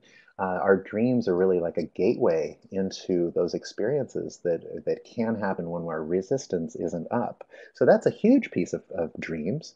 The other piece that's really big is a concept called the dream body. And this is something that Arnie Mindell came up with in the 70s. And what he did is he noticed that there was a relationship between the content, actually, it was the relationship between the energy in people's dreams and the things that happen in their bodies during the day. Okay, so, um, you know, imagine if someone has, uh, you know, like a, a, sharp stabbing pain, you know, in their in their daily life, and uh, maybe in their dreams they're also having some kind of a stabbing uh, energy happen in dreams. So that would be that there's like an energy that's expressing itself in the dream when they're asleep, and then when they become awake, they're in the awake world, that that energy is now expressing itself not in their dreams, but through their bodies. And that the symptoms that show up in our bodies are sometimes related to consensus reality. And that's the first thing to check out. If you're experiencing something in your body, is it related to consensus reality? But if consensus reality doesn't check out, then maybe that's like a dream body experience. That's an experience that's tied to the energy of your dreams. And some people, you know, they you work on their dreams and their body experience changes. And some people, if you work on their body experience, then they notice in their dreams. So it's very interesting. Uh, again, back to the virtual interpretation of reality. Uh, dreams are a virtual reality. That's like your, it's a reality that feels real, even though it's not materially being kind of drawn for you at the time. And uh, the idea there would be that maybe the dream reality is the same thing as our waking reality that those are both actually virtual reality experiences. I could get really deep into that. It's a, it's a big thing to uh, to open up in such a short period of time, but it's good stuff. Sure. And to open something up, what, what open another thing up? What are your thoughts about the existence of a collective unconscious? Mm-hmm. Well, that's I think in process in process work that might be called like the process mind. Yeah, which is uh, you know some kind of a consciousness that's like bigger than any uh, of us as individuals and that there's something that we're all sharing and connected well of course we're all connected if we live in a virtual reality then this is really more of kind of a dream type of experience and that the distance between us is really only kind of um, it's sort of an illusion Um, so yeah, the the collective unconscious to me feels like the kind of the bigger process that's trying to almost use us to make itself known. I, I really like that idea. Yeah, you know, a quarter of process work is Jungian psychology. So a lot of Jung's ideas are very much present in process work, even if they've been uh, maybe the language has been changed a little bit. Um, Arnold Mindell was a Jungian analyst in Switzerland uh, before he uh, really took Jungian Jungian work and actually kind of moved it and evolved it, which actually uh, that created some controversy in the Jungian community, and that's really what developed that led to the development of process work as an independent branch of psychology. And thank you, Jen, for a great question.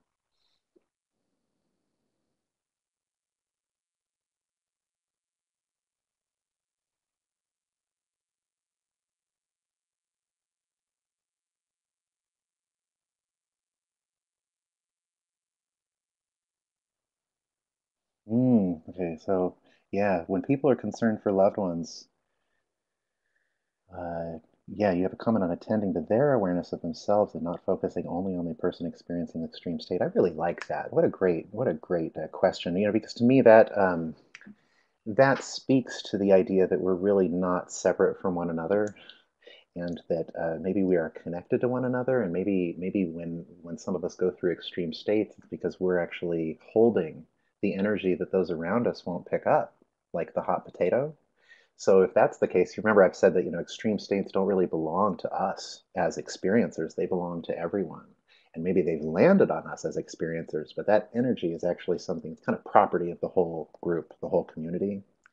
Um, so yeah, the idea of working with loved ones, that's great because I, I think that, you know, the, the phrase non-locality comes to mind. Maybe we can have like a non-local influence on a person having an extreme state by working with a member of their family, because remember, there seem to be these kind of invisible strings between people. And, you know, if there's someone in the family who maybe won't pick up their own sense of madness, then it's like the hot potato. It's now landed on their loved one. Well, then that makes me think, I wonder if we could maybe explore your madness a little bit more and, you know, let's go wild. Let's let's go have Beatlemania together. You know what I mean? Like, let's find some way to kind of let that out of control quality come in, because I believe uh, that when one person can pick up their madness more, that the person in their family who's having an extreme state will experiencing a lightening. They will experience a a relief because that energy has now been picked up by someone near them. So yeah, to me, working with someone around the person in extreme state is great. In fact, you know, focusing solely on the person who's having the extreme state, well, that's that's kind of the mental health system, isn't it? That's like, you know, you're ill, you're sick, you're the center of attention, you're the one with the symptoms, but extreme states don't belong to the individual who's having them. So working on that community, working more than just loved ones, maybe working on the grand community sounds great. Sounds really good. And maybe it would be a little less, uh, yeah, I feel less ganged up on if I were if I were in, in my shoes having an extreme state, and then uh, it was acknowledged that maybe some of the people in my family or in my community maybe you know need a little work themselves. I'd find that relieving myself. Just be, people being willing to own that, yeah, I've had weird experiences or different experiences, and I don't even know how they all fit in, and talking about that. I mean, that's something in peer support that people do, but I think a lot of more like, you know, I practice CBT for psychosis, but there's this understanding that the, the therapist being willing to share their extreme states and talk about that really humanizes it and says, yeah, this is something, know, we have states and wait, how do we make sense of this, you know, and these questions and and and and it, and it just really helps people settle down and instead of thinking it's all about them they start realizing it's more like you say it's part of the our condition our human condition. We have you know this there's the whole ice cream cone as you put it. Yeah so bert is saying i noticed you're using your full awareness of yourself as well as tuning into the other Perhaps when people are concerned for loved ones, you have a comment on attending to their awareness of themselves and not focusing only on the person experiencing extreme states. Right, right. You know, I work with a family uh, in open dialogue. I, I'm on an open dialogue team, and uh, we work with a family where everyone has had an extreme state. They, everyone has extreme state history. Okay, so it's not there. There there isn't that isolation that sense that like, oh, you're the mad one. You know, I would never happen to me. Instead, they all can acknowledge that, yeah, like the, there's a potato around, and we've all held the potato at some point. That really, really like lends so much beauty into their interactions because there's there's not that just abject marginalization of that energy, and that all of them can actually acknowledge there's something that is special there, uh, incredible. See, working in, Jamie says, "I'm working in memory care, I would enter into the world of the person I cared for, and this seemed to make the other caregivers angry to the point I lost my job. I noticed that people are so afraid of letting people have their experiences that people think someone thinking they are at the YMCA and not a nursing home is dangerous and needs to be fixed. Do you think there is hope for that to change? Well, I do think there's hope for that to change, and the, the you know by virtue of the fact that you're around, you know that you're out there and that you did this, that gives me hope. Uh, it gives me hope that I have a similar attitude, and I know a lot of people who have similar attitudes.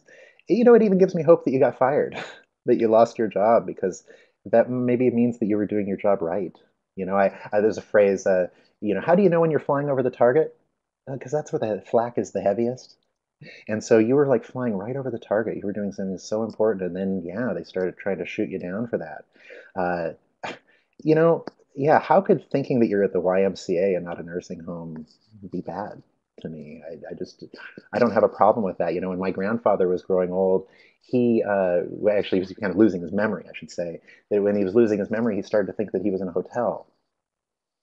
You know, and and there were lots of aspects of this hotel that were completely different from his consensus reality experience, but it's okay. It didn't seem to bring him distress.